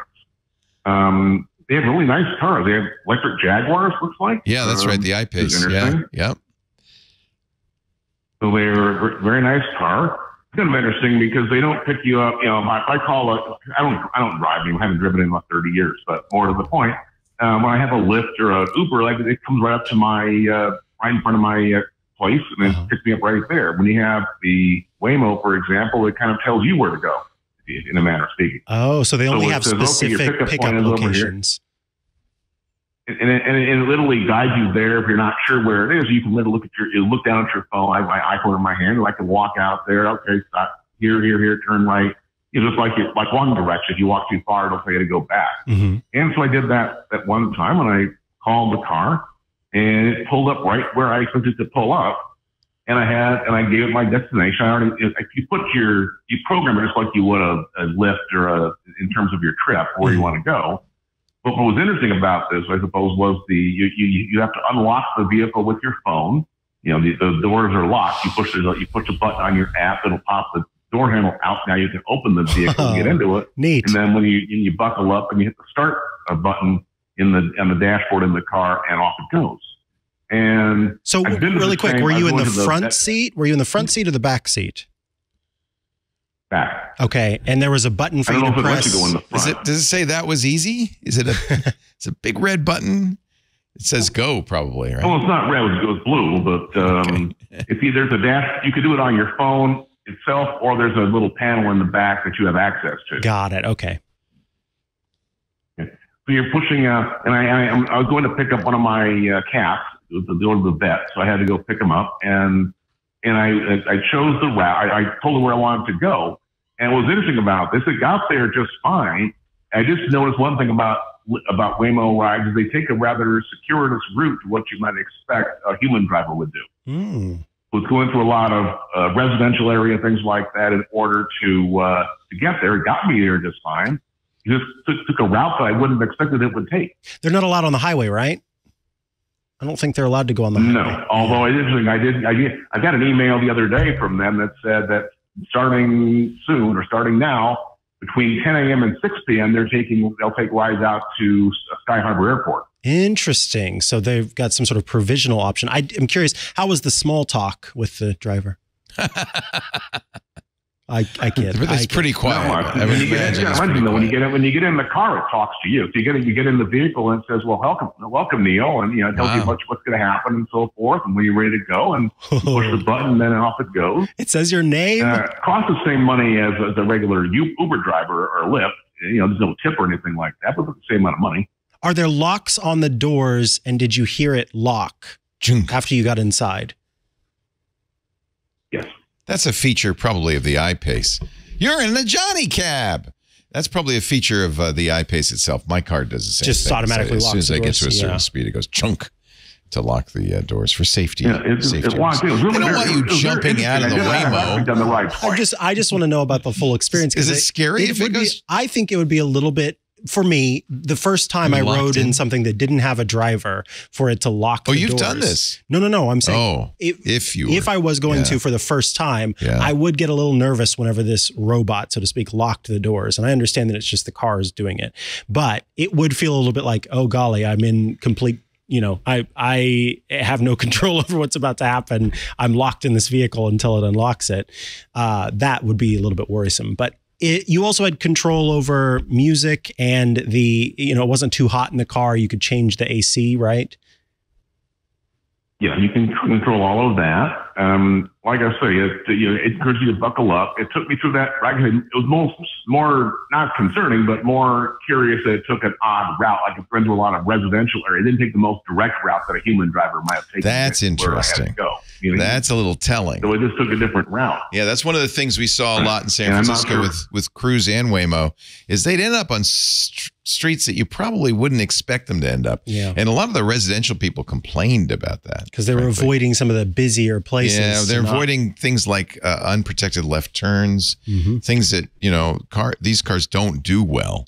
Did you take it home afterward as well, or did you use uh, Lyft or Uber to or something else to get home from the vet? Because I'm curious if it has any sort of sensors in it to determine, oh, you've actually brought two people into the car. In this case, there's a cat, in the car as well. We're going to charge you double. Uh, I, it, I, no, I didn't do that. I didn't take the same route home, not because of that. I mean, I, I did- but I did take another trip Uh-huh. uh, uh, subsequent to that, which is interesting as well. Because now, now, and I'll bring this up real quick here. Was I had to go back from the vet, different trip. I had gone back, Mhm. and I'm going out, and then had to go down a major street, and then there's road work there. Oh. But now it had to, now it had to, I have to deal with this road work. It's, it's, it's closing out. You have two, two lanes are going down to one. It doesn't like road got to work. merge right Yeah, into that yeah. one. They're doing road work, and how's it going to manage that? And it managed it, but it, it went. It started going through it. Then it decided, oh, I'm going to make a right turn over here, and I'm going to start going around um, through the residential area to try to get around this road work. Which Oh. it did with limited. The limited. thing that you don't it- it necessarily fine, know, but it turns out I've read reports happens more often than you think. There is a human uh, at the central office who can control that vehicle. And it is not unusual for a human. That would be a case, for instance, where I think the vehicle would say, "Hey, uh, this is problematic. There's construction. This doesn't match my map. Help! Help!" And the human may actually take over and override it and say, "Good, we're gonna." Because I don't think the car is that smart that would go, "Oh, let's go around the construction. Let's turn right here." But a human may have intervened and may even be driving the car, and I don't know if they tell you that. Uh, I think that one of the not anything to me. yeah, one of the dirty little secrets of these of all of these is that humans take over more often than we know. So, just a I don't know. thought. I mean, I thought it was a positive. I would, take the ride again. Sure, why not? now. You didn't feel it s- again. unsafe Yeah. at any time, did you? No. No. Cool. Oh no, I never, I never felt unsafe. I was curious how it would handle these, uh, like I said, the road work things like that. I was, I was kind of curious. Yeah, that's that's I challenging for these felt guys. Yeah, they now they're on their own. That's didn't not it- been actually, mapped it's out. to- hmm. It didn't do anything wrong. You understand? Right. It just Yeah. went to an odd route, I guess, is what I would say. Yeah, odd It wasn't route. wrong. Yeah, Yeah.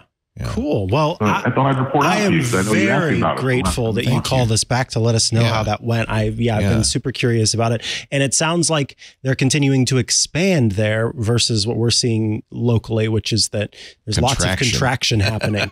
um, so the fact that you know you got that Right. notification If I ever saying, a- "Hey, we're doing more." You know, well, I'm going to say if I ever do a graveyard, you know, a red eye flight, I can take it to uh, Sky, Sky Harbor Airport now, but I'm not really, you know, sure I'm going to fly between 10 and 6 in the morning, particularly, but uh, that's when they're, they're, at least they're trying to get out to take rides out there. Lovely. Yeah. Hey, thank thank you. you for calling. Uh, take care. My Pre- pleasure. appreciate Thanks for taking my Great- call. great Have a update. happy New Year. Happy Uh, New Year. Happy New Year to you Take as well. care. Yeah, uh, Cruise, Cruise. Uh, I'm on the website. Says we have temporarily paused driverless service. Uh, they fired a lot of employees, and uh, they they they basically backed off completely after the California regulators said, uh, "Hey, we've got a problem here. You better uh, stop driving temporarily." They decided to pull back completely. I think this is not working out quite as well as everybody thought. Not- not in the short term, Not in the short term. You know, uh, we're going to go to our great photographer friend, and we actually have a question for him, right? We do. All right. Yes. So let's go to Chris Marquardt, discoverthetopfloor.com. And he is Ah. uh, suitably dressed for what is undoubtedly a cold winter's night. Hello, Chris. I, I couldn't. Hey, how's it going, everyone? I couldn't find my Santa hat, so I had to. make This is fine. a lovely hat that you're did you did you wear that in Svalbard? Oh no, I, I picked this up years ago in Siberia. So, Siberia. wow, that's the real deal. Very nice and warm. Very Yeah. nice and warm indeed. Yeah. Yeah. Probably too. Let, let me take that off because it's, it's kind of. You're gonna it's sweat. Indoors, He's it's gonna start to sweat. warm. yeah. So uh, you though have seen Santa's reindeer, I know, up uh, up in the uh, north. Of course I have. Yes, because he, uh, he Absolutely. used to lead expeditions. That was a crazy expedition because you were on a sailing ship, sailing to- Around Svalbard, yes. Wow. that is That was that sounds wild. amazing. And some of your pictures of ice on the lines on the ship and stuff were just, it made me cold just looking at it. Yeah, icing icing up ships. Um, it's fun if you have to if you have to get the big wooden mallet out and bang against the side of the ship to make sure it doesn't freeze up too much. and get- Wow. Yeah. Wow. Uh, that was an adventure, a real adventure. not yeah. the first trip on my list of trips to take, but but are you are you are you planning to go back to Svalbard anytime soon? Um, no plans for now, but I do want to go back because just the Arctic is, is a wonderful place. It's um, it's cold in winter, and you, you, the light up there. That's what I'm interested in as a photographer. Absolutely. Just the way that there's the particles in the air, and the mountains reflect the light, and the snow. It's it's one of the most amazing lights on the planet that I've seen. It's Well, so beautiful. We have an assignment from Mr. Marquardt that we are going Yes. to do our assignment review of. Uh, the word of the uh, of the week in the Tech Guy group, actually, the word of the. Did we go two months? I think we went a long time on this one. Was unusual. I think I think so. Yeah. was unusual. We have the unusual assignment. I have made uh, a choice of three photos. As usual, let me bring them up here on the screen. Um, thanks everyone for participating. This was not an easy choice, so lots of good stuff. Lots of unusual stuff. Yes. Yes, definitely. And uh, the first one I chose is by Vibeke Fries. It's a sculpture.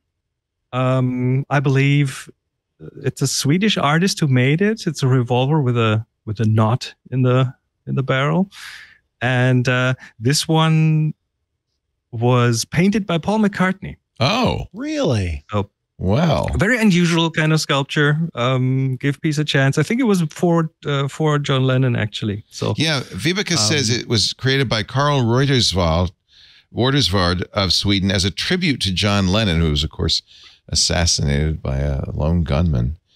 Um, and I th- and so the the work was uh, sent to many famous people who painted them, and this one was Sir Paul McCartney's. Wow, Wow, that must have been for Paul quite a moving moment to paint. that. Probably. yeah. yeah, and and an unusual thing for sure. Absolutely. Wonderful photo. So yeah.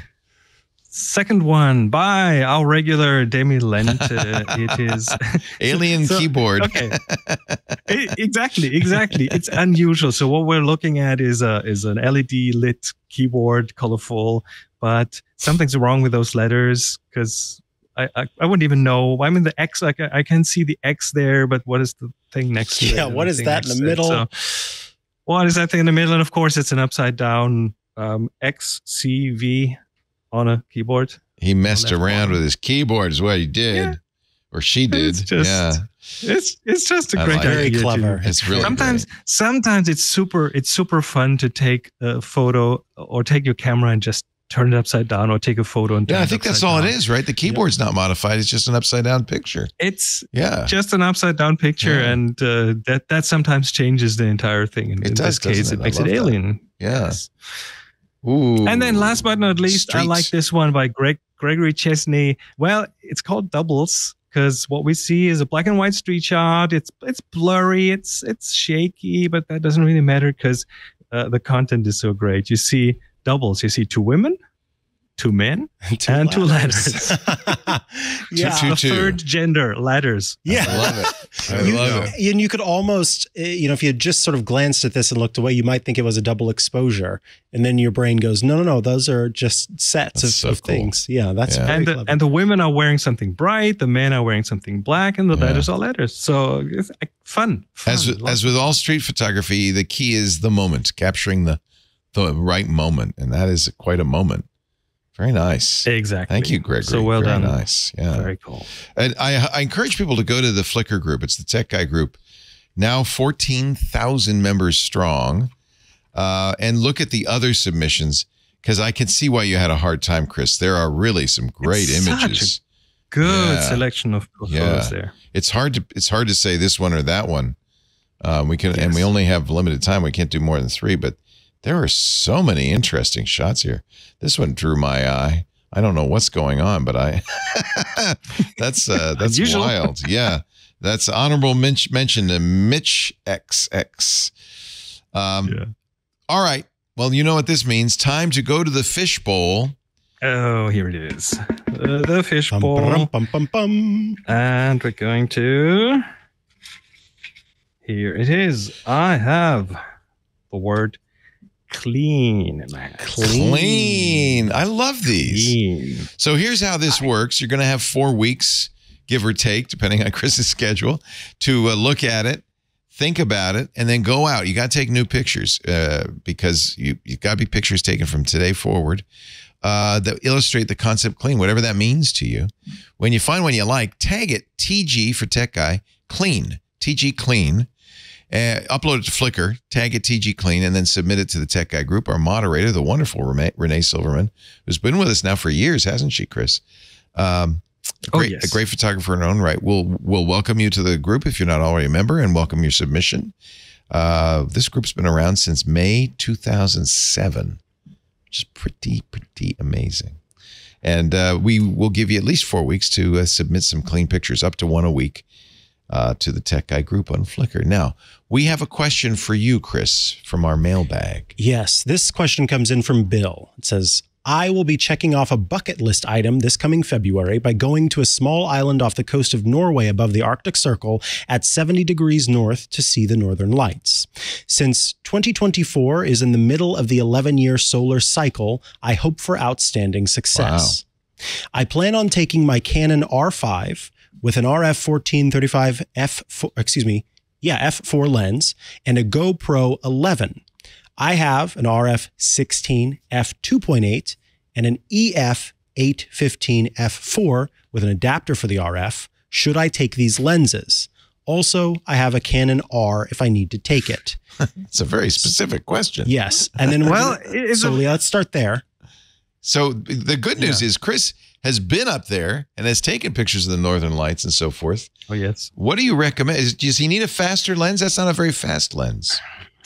Uh, the the 2.8 that he he says there, the uh, R16 2.8, that is a good lens for northern lights. The northern lights is the northern lights are they they vary depending on uh, lots of things, and of course uh, the magnetic field of the Earth and the, the the strength of the solar storm and so on, and they can be from very slow and very faint up to really bright, like in a discotheque. They and they go zoom zoom zoom zoom, and sometimes they just they just swell up and down a little and they move slowly. So it's it's hard to give you this one answer that covers everything because you will be surprised of them for sure. Um, How about a tripod? Is that useful with northern lights or is it handheld?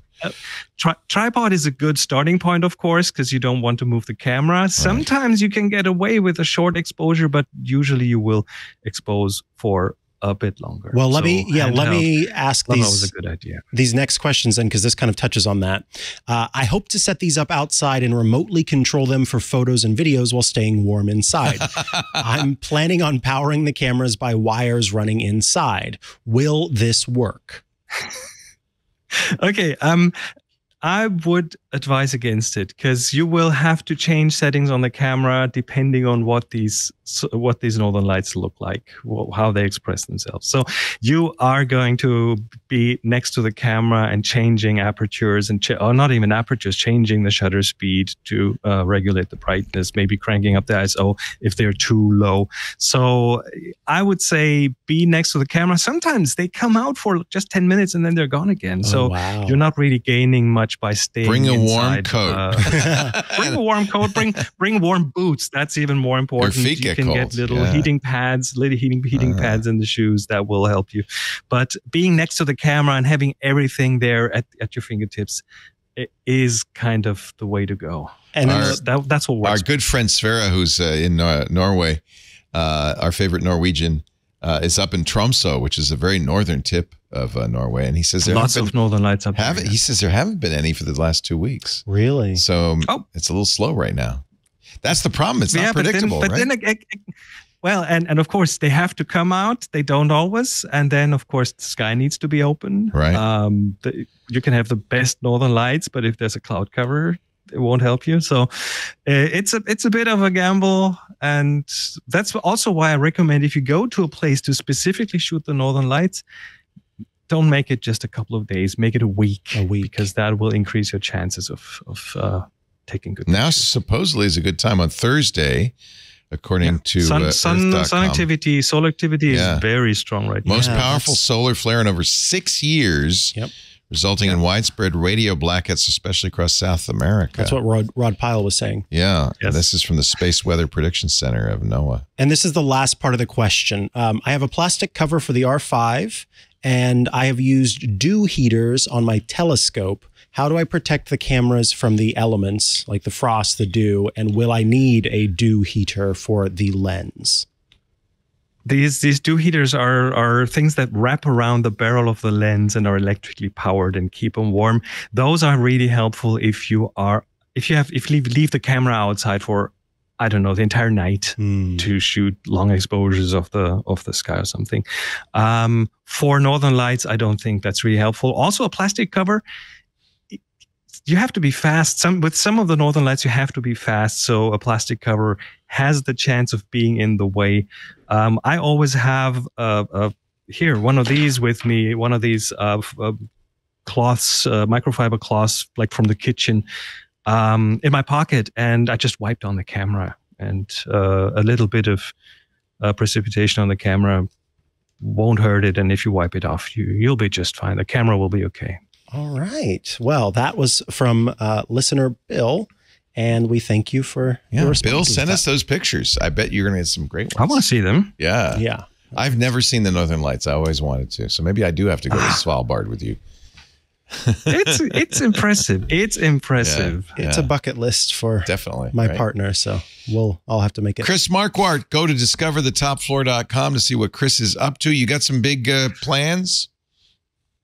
Not not for the holidays. We're gonna we're gonna pull the blankets over our heads And watch and, and watch dinner for one, right? You're going to watch that. stuff. Yeah, I've I think I've seen this too many times now. It's getting We're, we were talking before the show about how, for some reason, this old British comedic sketch, which is in English, has become the thing to watch uh, around this time of year in Germany, of all places. I I used to love it as a kid. Uh, I think I've grown out of it over time.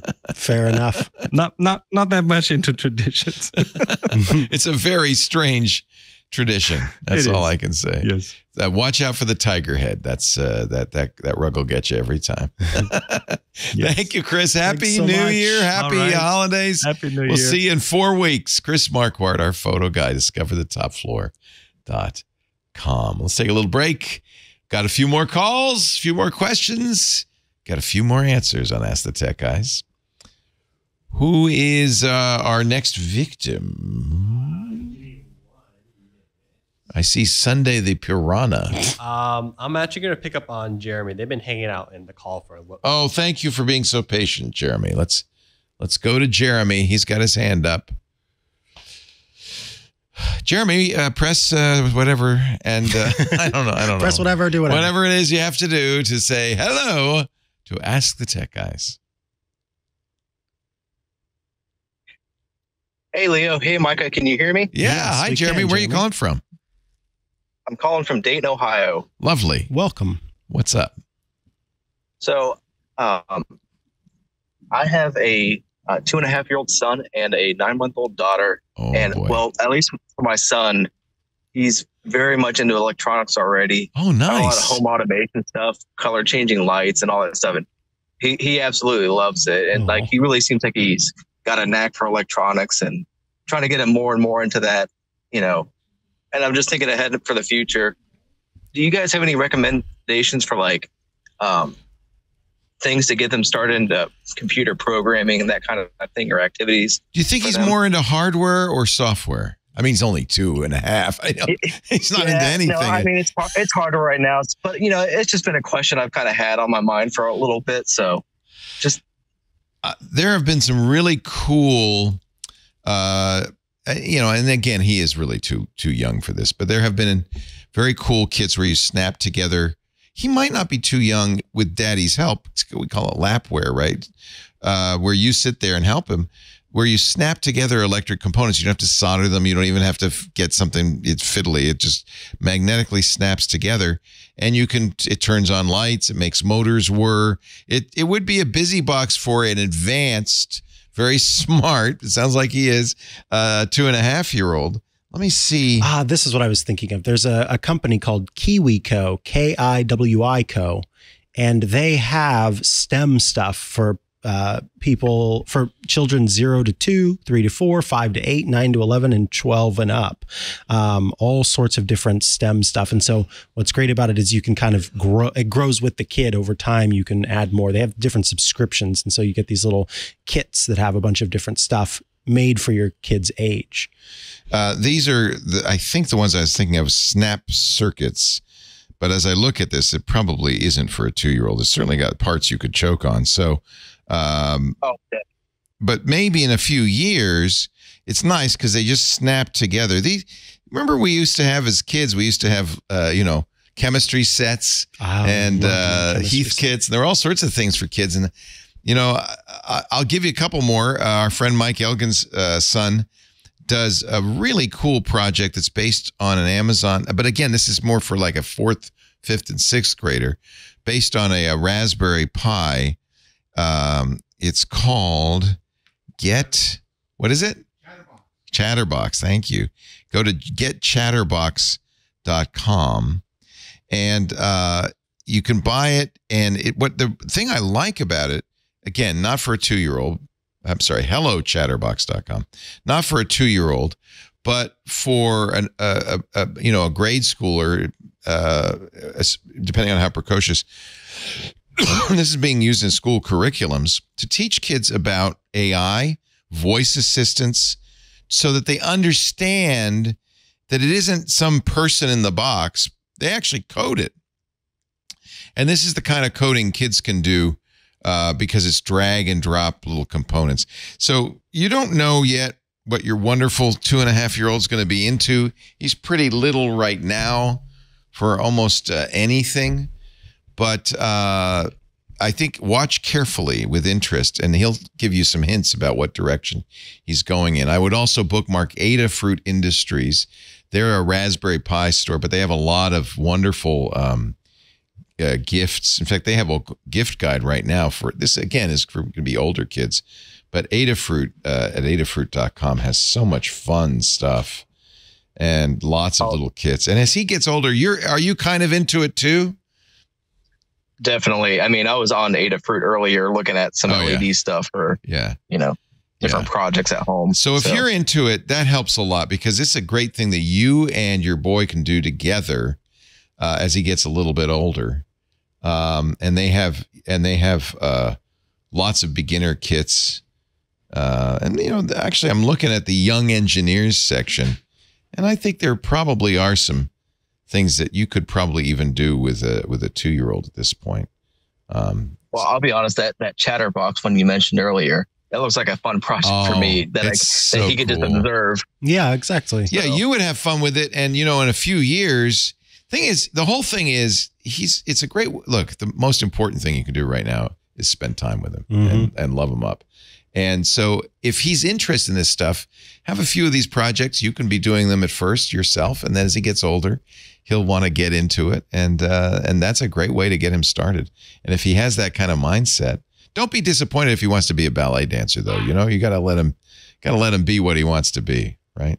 Yeah, that the one I was talking about earlier, by the way, uh, kiwico.com. Yeah, it even starts with what they call the Panda Crate. And Oh, it nice. has all of these tools for uh, they're three to six stage specific products, but then each of these teaches six to 10 developmental skills. And then you kind of move along after you finish the Panda Crate for someone zero to 36 months. Uh, ages three to four, they move on to the Koala Crate, Oh. which makes it more involved. So they really do have young, very young, young Yeah. kid stuff. That's good. That and this is like all. STEM STEM stuff. We'll so. put a link to all of this in the uh, show notes because I think there are a lot of parents who would love to do this with their kids. Absolutely. Yeah. It's it's a, it sounds Hey, like a lot thank you very much. You're very welcome. Merry Christmas. Yeah. You're a lucky guy. You're gonna have a good Christmas with two babies in the house, two little ones. How fun. Yeah, definitely. And I, I just got to say, you know, followed the Twit Network for a long time, Leo. I think I even watched you on Tech TV. So When you I- were I a little one. everything are doing.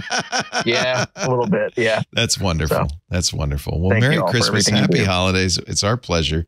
And yeah, spend time with both those kids. And, you know, if they want to play catch, play catch. If they want to, you know, go to the theater, take them to the theater, whatever it is. The most important thing, the one and only thing that really matters is is the is the time you spend with them and the love you give them. And then everything else is gravy. Uh, but I think it's fun to do the idea of doing these. If, if he's interested, Yeah. you know, that's really cool. That's really cool. Sounds fun. Hey, I can't believe we're uh, we're through. We're done. We're out of time. Uh, but we're going to be back in three weeks. We're Mm-hmm. gone for a couple of weeks. We'll be back next year. Next year, this is our last show of the year. Uh, we're taking the next two weeks off. No best of from us. No holiday special. We're lazy, and we just uh, this is it. this is all you're going to get. Uh, we, we drank too much eggnog, and we forgot our homework, and the dog ate the best of. uh, boy producer John Ashley was getting tired of being called boy wonder producer. Oh, oh, this is the So- payback. okay, payback's a you know what. Well, okay. Uh, nobody suffers except the people at home, but okay. Don't email John. It wasn't. That's not actually true. No, it wasn't fine. his choice. Uh, but we did. Uh, we do want to wish you a wonderful, wonderful holiday. And we hope you'll come back January seventh. Yes. And every Sunday thereafter, we will be here answering your questions, two to five p.m. Eastern. It's eleven a.m. to two p.m. Pacific time, nineteen hundred UTC. Uh, I mentioned those times because you can't actually watch a live stream of the show. Uh, we stream it on YouTube. So go to youtube.com/slash twit. Uh, if you if you hit the bell there, it'll it'll let you know when we go live. We go live when any show, any of our given shows that we uh, we put together streams, we go live on YouTube. So that's a good place to see it. If you're a club member, of course, you can watch it in the Club Twit Discord and interact with us. And I really want to encourage you to become a club member. You know, one of the things, boy, this actually applies to our last caller too. One of the things uh, that has I've noticed, um, and maybe you have too. I don't know. The last in the early days of technology, it was very exciting. Every day, it seemed like there was a new innovation. There was something new that was very exciting. The last five years, it's kind of gotten ho hum. Mm-hmm. Yeah, the new iPhone has a better camera. right, right. It's not. It the, the developments in technology have just not been as exciting over the last couple of years. And frankly, I was thinking yeah, maybe it is time to retire. Maybe technology now is just part of the fabric of our lives, and and uh, nothing interesting is happening. Then along came AI, and I am of the you know opinion, and it's getting firmer every day, that the next few years are going to be wild. That stuff is going to happen that we don't even imagine today. This is not the equivalent of the uh, personal computer revolution or of the internet revolution. In my opinion, this is more like first contact. This is more like a new species arising among us. Something very different, very weird that will change everything. Mm-hmm. And that, while it's a little scary, perhaps, also is very exciting. And it's given me a new reason to want to keep doing our shows. You know, we're here to help you understand technology so you can use it sometimes so you can defend yourself against it. But that's our job is to help you understand technology. And for a while I was feeling like, well, maybe we don't maybe we're not needed so much anymore. I think the next couple of years are going to be wild ride and I think we do need to do this job. And you need to have a place you can go where you can get information you can trust about what it all means, how it works, and what you can do about it. And that's going to be Twit going forward. But as you know, it's been a very tough year for us. And next year was looking like it was even tougher. We had to make some cutbacks, cancel some shows, let some hosts go. But we're in a good financial footing now. We want to stay that way. It's going to take two things. It's going to take good sales, and we're working as hard as we can to sell ads on all of our shows. But it's also going to take your help. Club Twit. Uh, we started Club Twit two years ago because we saw this coming. This is going to be vital for our continued success. Right now, just a little more than 1% of our viewers and listeners subscribe to Club Twit. We would like to get that. We need to get that up to two at least to survive next year. If we can get it to three, four, or five percent, then we can go forward and continue our mission. And we want to do that. Seven bucks a month. That's all it costs. $84 a year. Their family plans, their corporate plans. It supports what we're doing. It keeps our shows on the air, keeps our staff employed, keeps the lights on.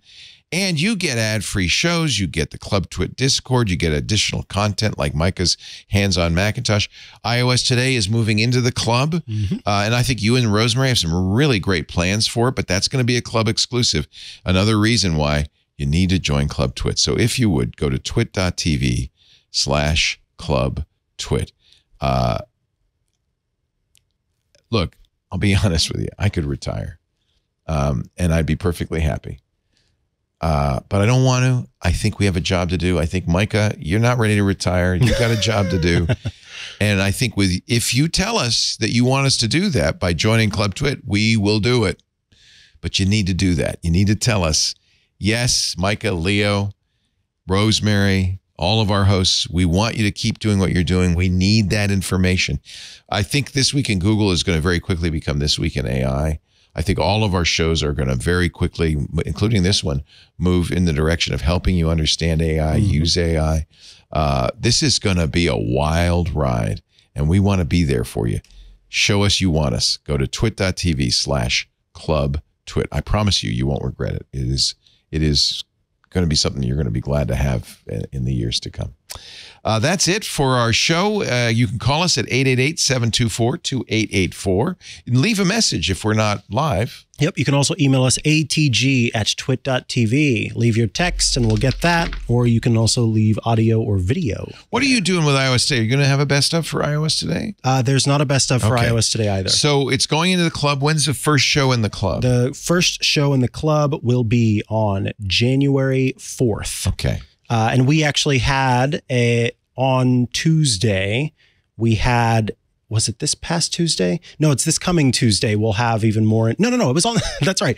On Friday, December fifteenth. If you were a subscriber to the You show, would have gotten it you would have learned feed. about it, and then we'll have a little bit more information too. So, subscribe. You can. By the way, this is a. All of our shows are are are podcasts in the sense you can subscribe to them in a podcast player or on YouTube. Each of them has a YouTube channel. Uh, so get that last episode in public, Mm-hmm. join the club, and then you'll get future episodes of iOS today. And you've got some good play. I'm really excited what you're doing with it. Yeah, I think it's going to be really a great uh, program. But again, it all depends on you. Um, I'm Leo Laporte. And I'm Mikah Sargent. I hope you have a wonderful holiday. I hope you had a great Hanukkah. I hope your Festivus is full of grievances. And I and if you celebrate Christmas, a Merry Christmas to you. 2024 is going to be an interesting year. I hope it's joyous for you, peaceful and successful. Uh, and we hope you'll be right here with us all next year. Thanks for joining us. We'll see you next time. Happy New Year. Bye bye. Hey there, Scott Wilkinson here. In case you hadn't heard, Home Theater Geeks is back. Each week, I bring you the latest audio video news, tips and tricks to get the most out of your AV system, product reviews, and more. You can enjoy Home Theater Geeks only if you're a member of Club Twit, which costs 7 bucks a month, or you can subscribe to Home Theater Geeks by itself for only $2.99 a month. I hope you'll join me for a weekly dose of home theater geekitude.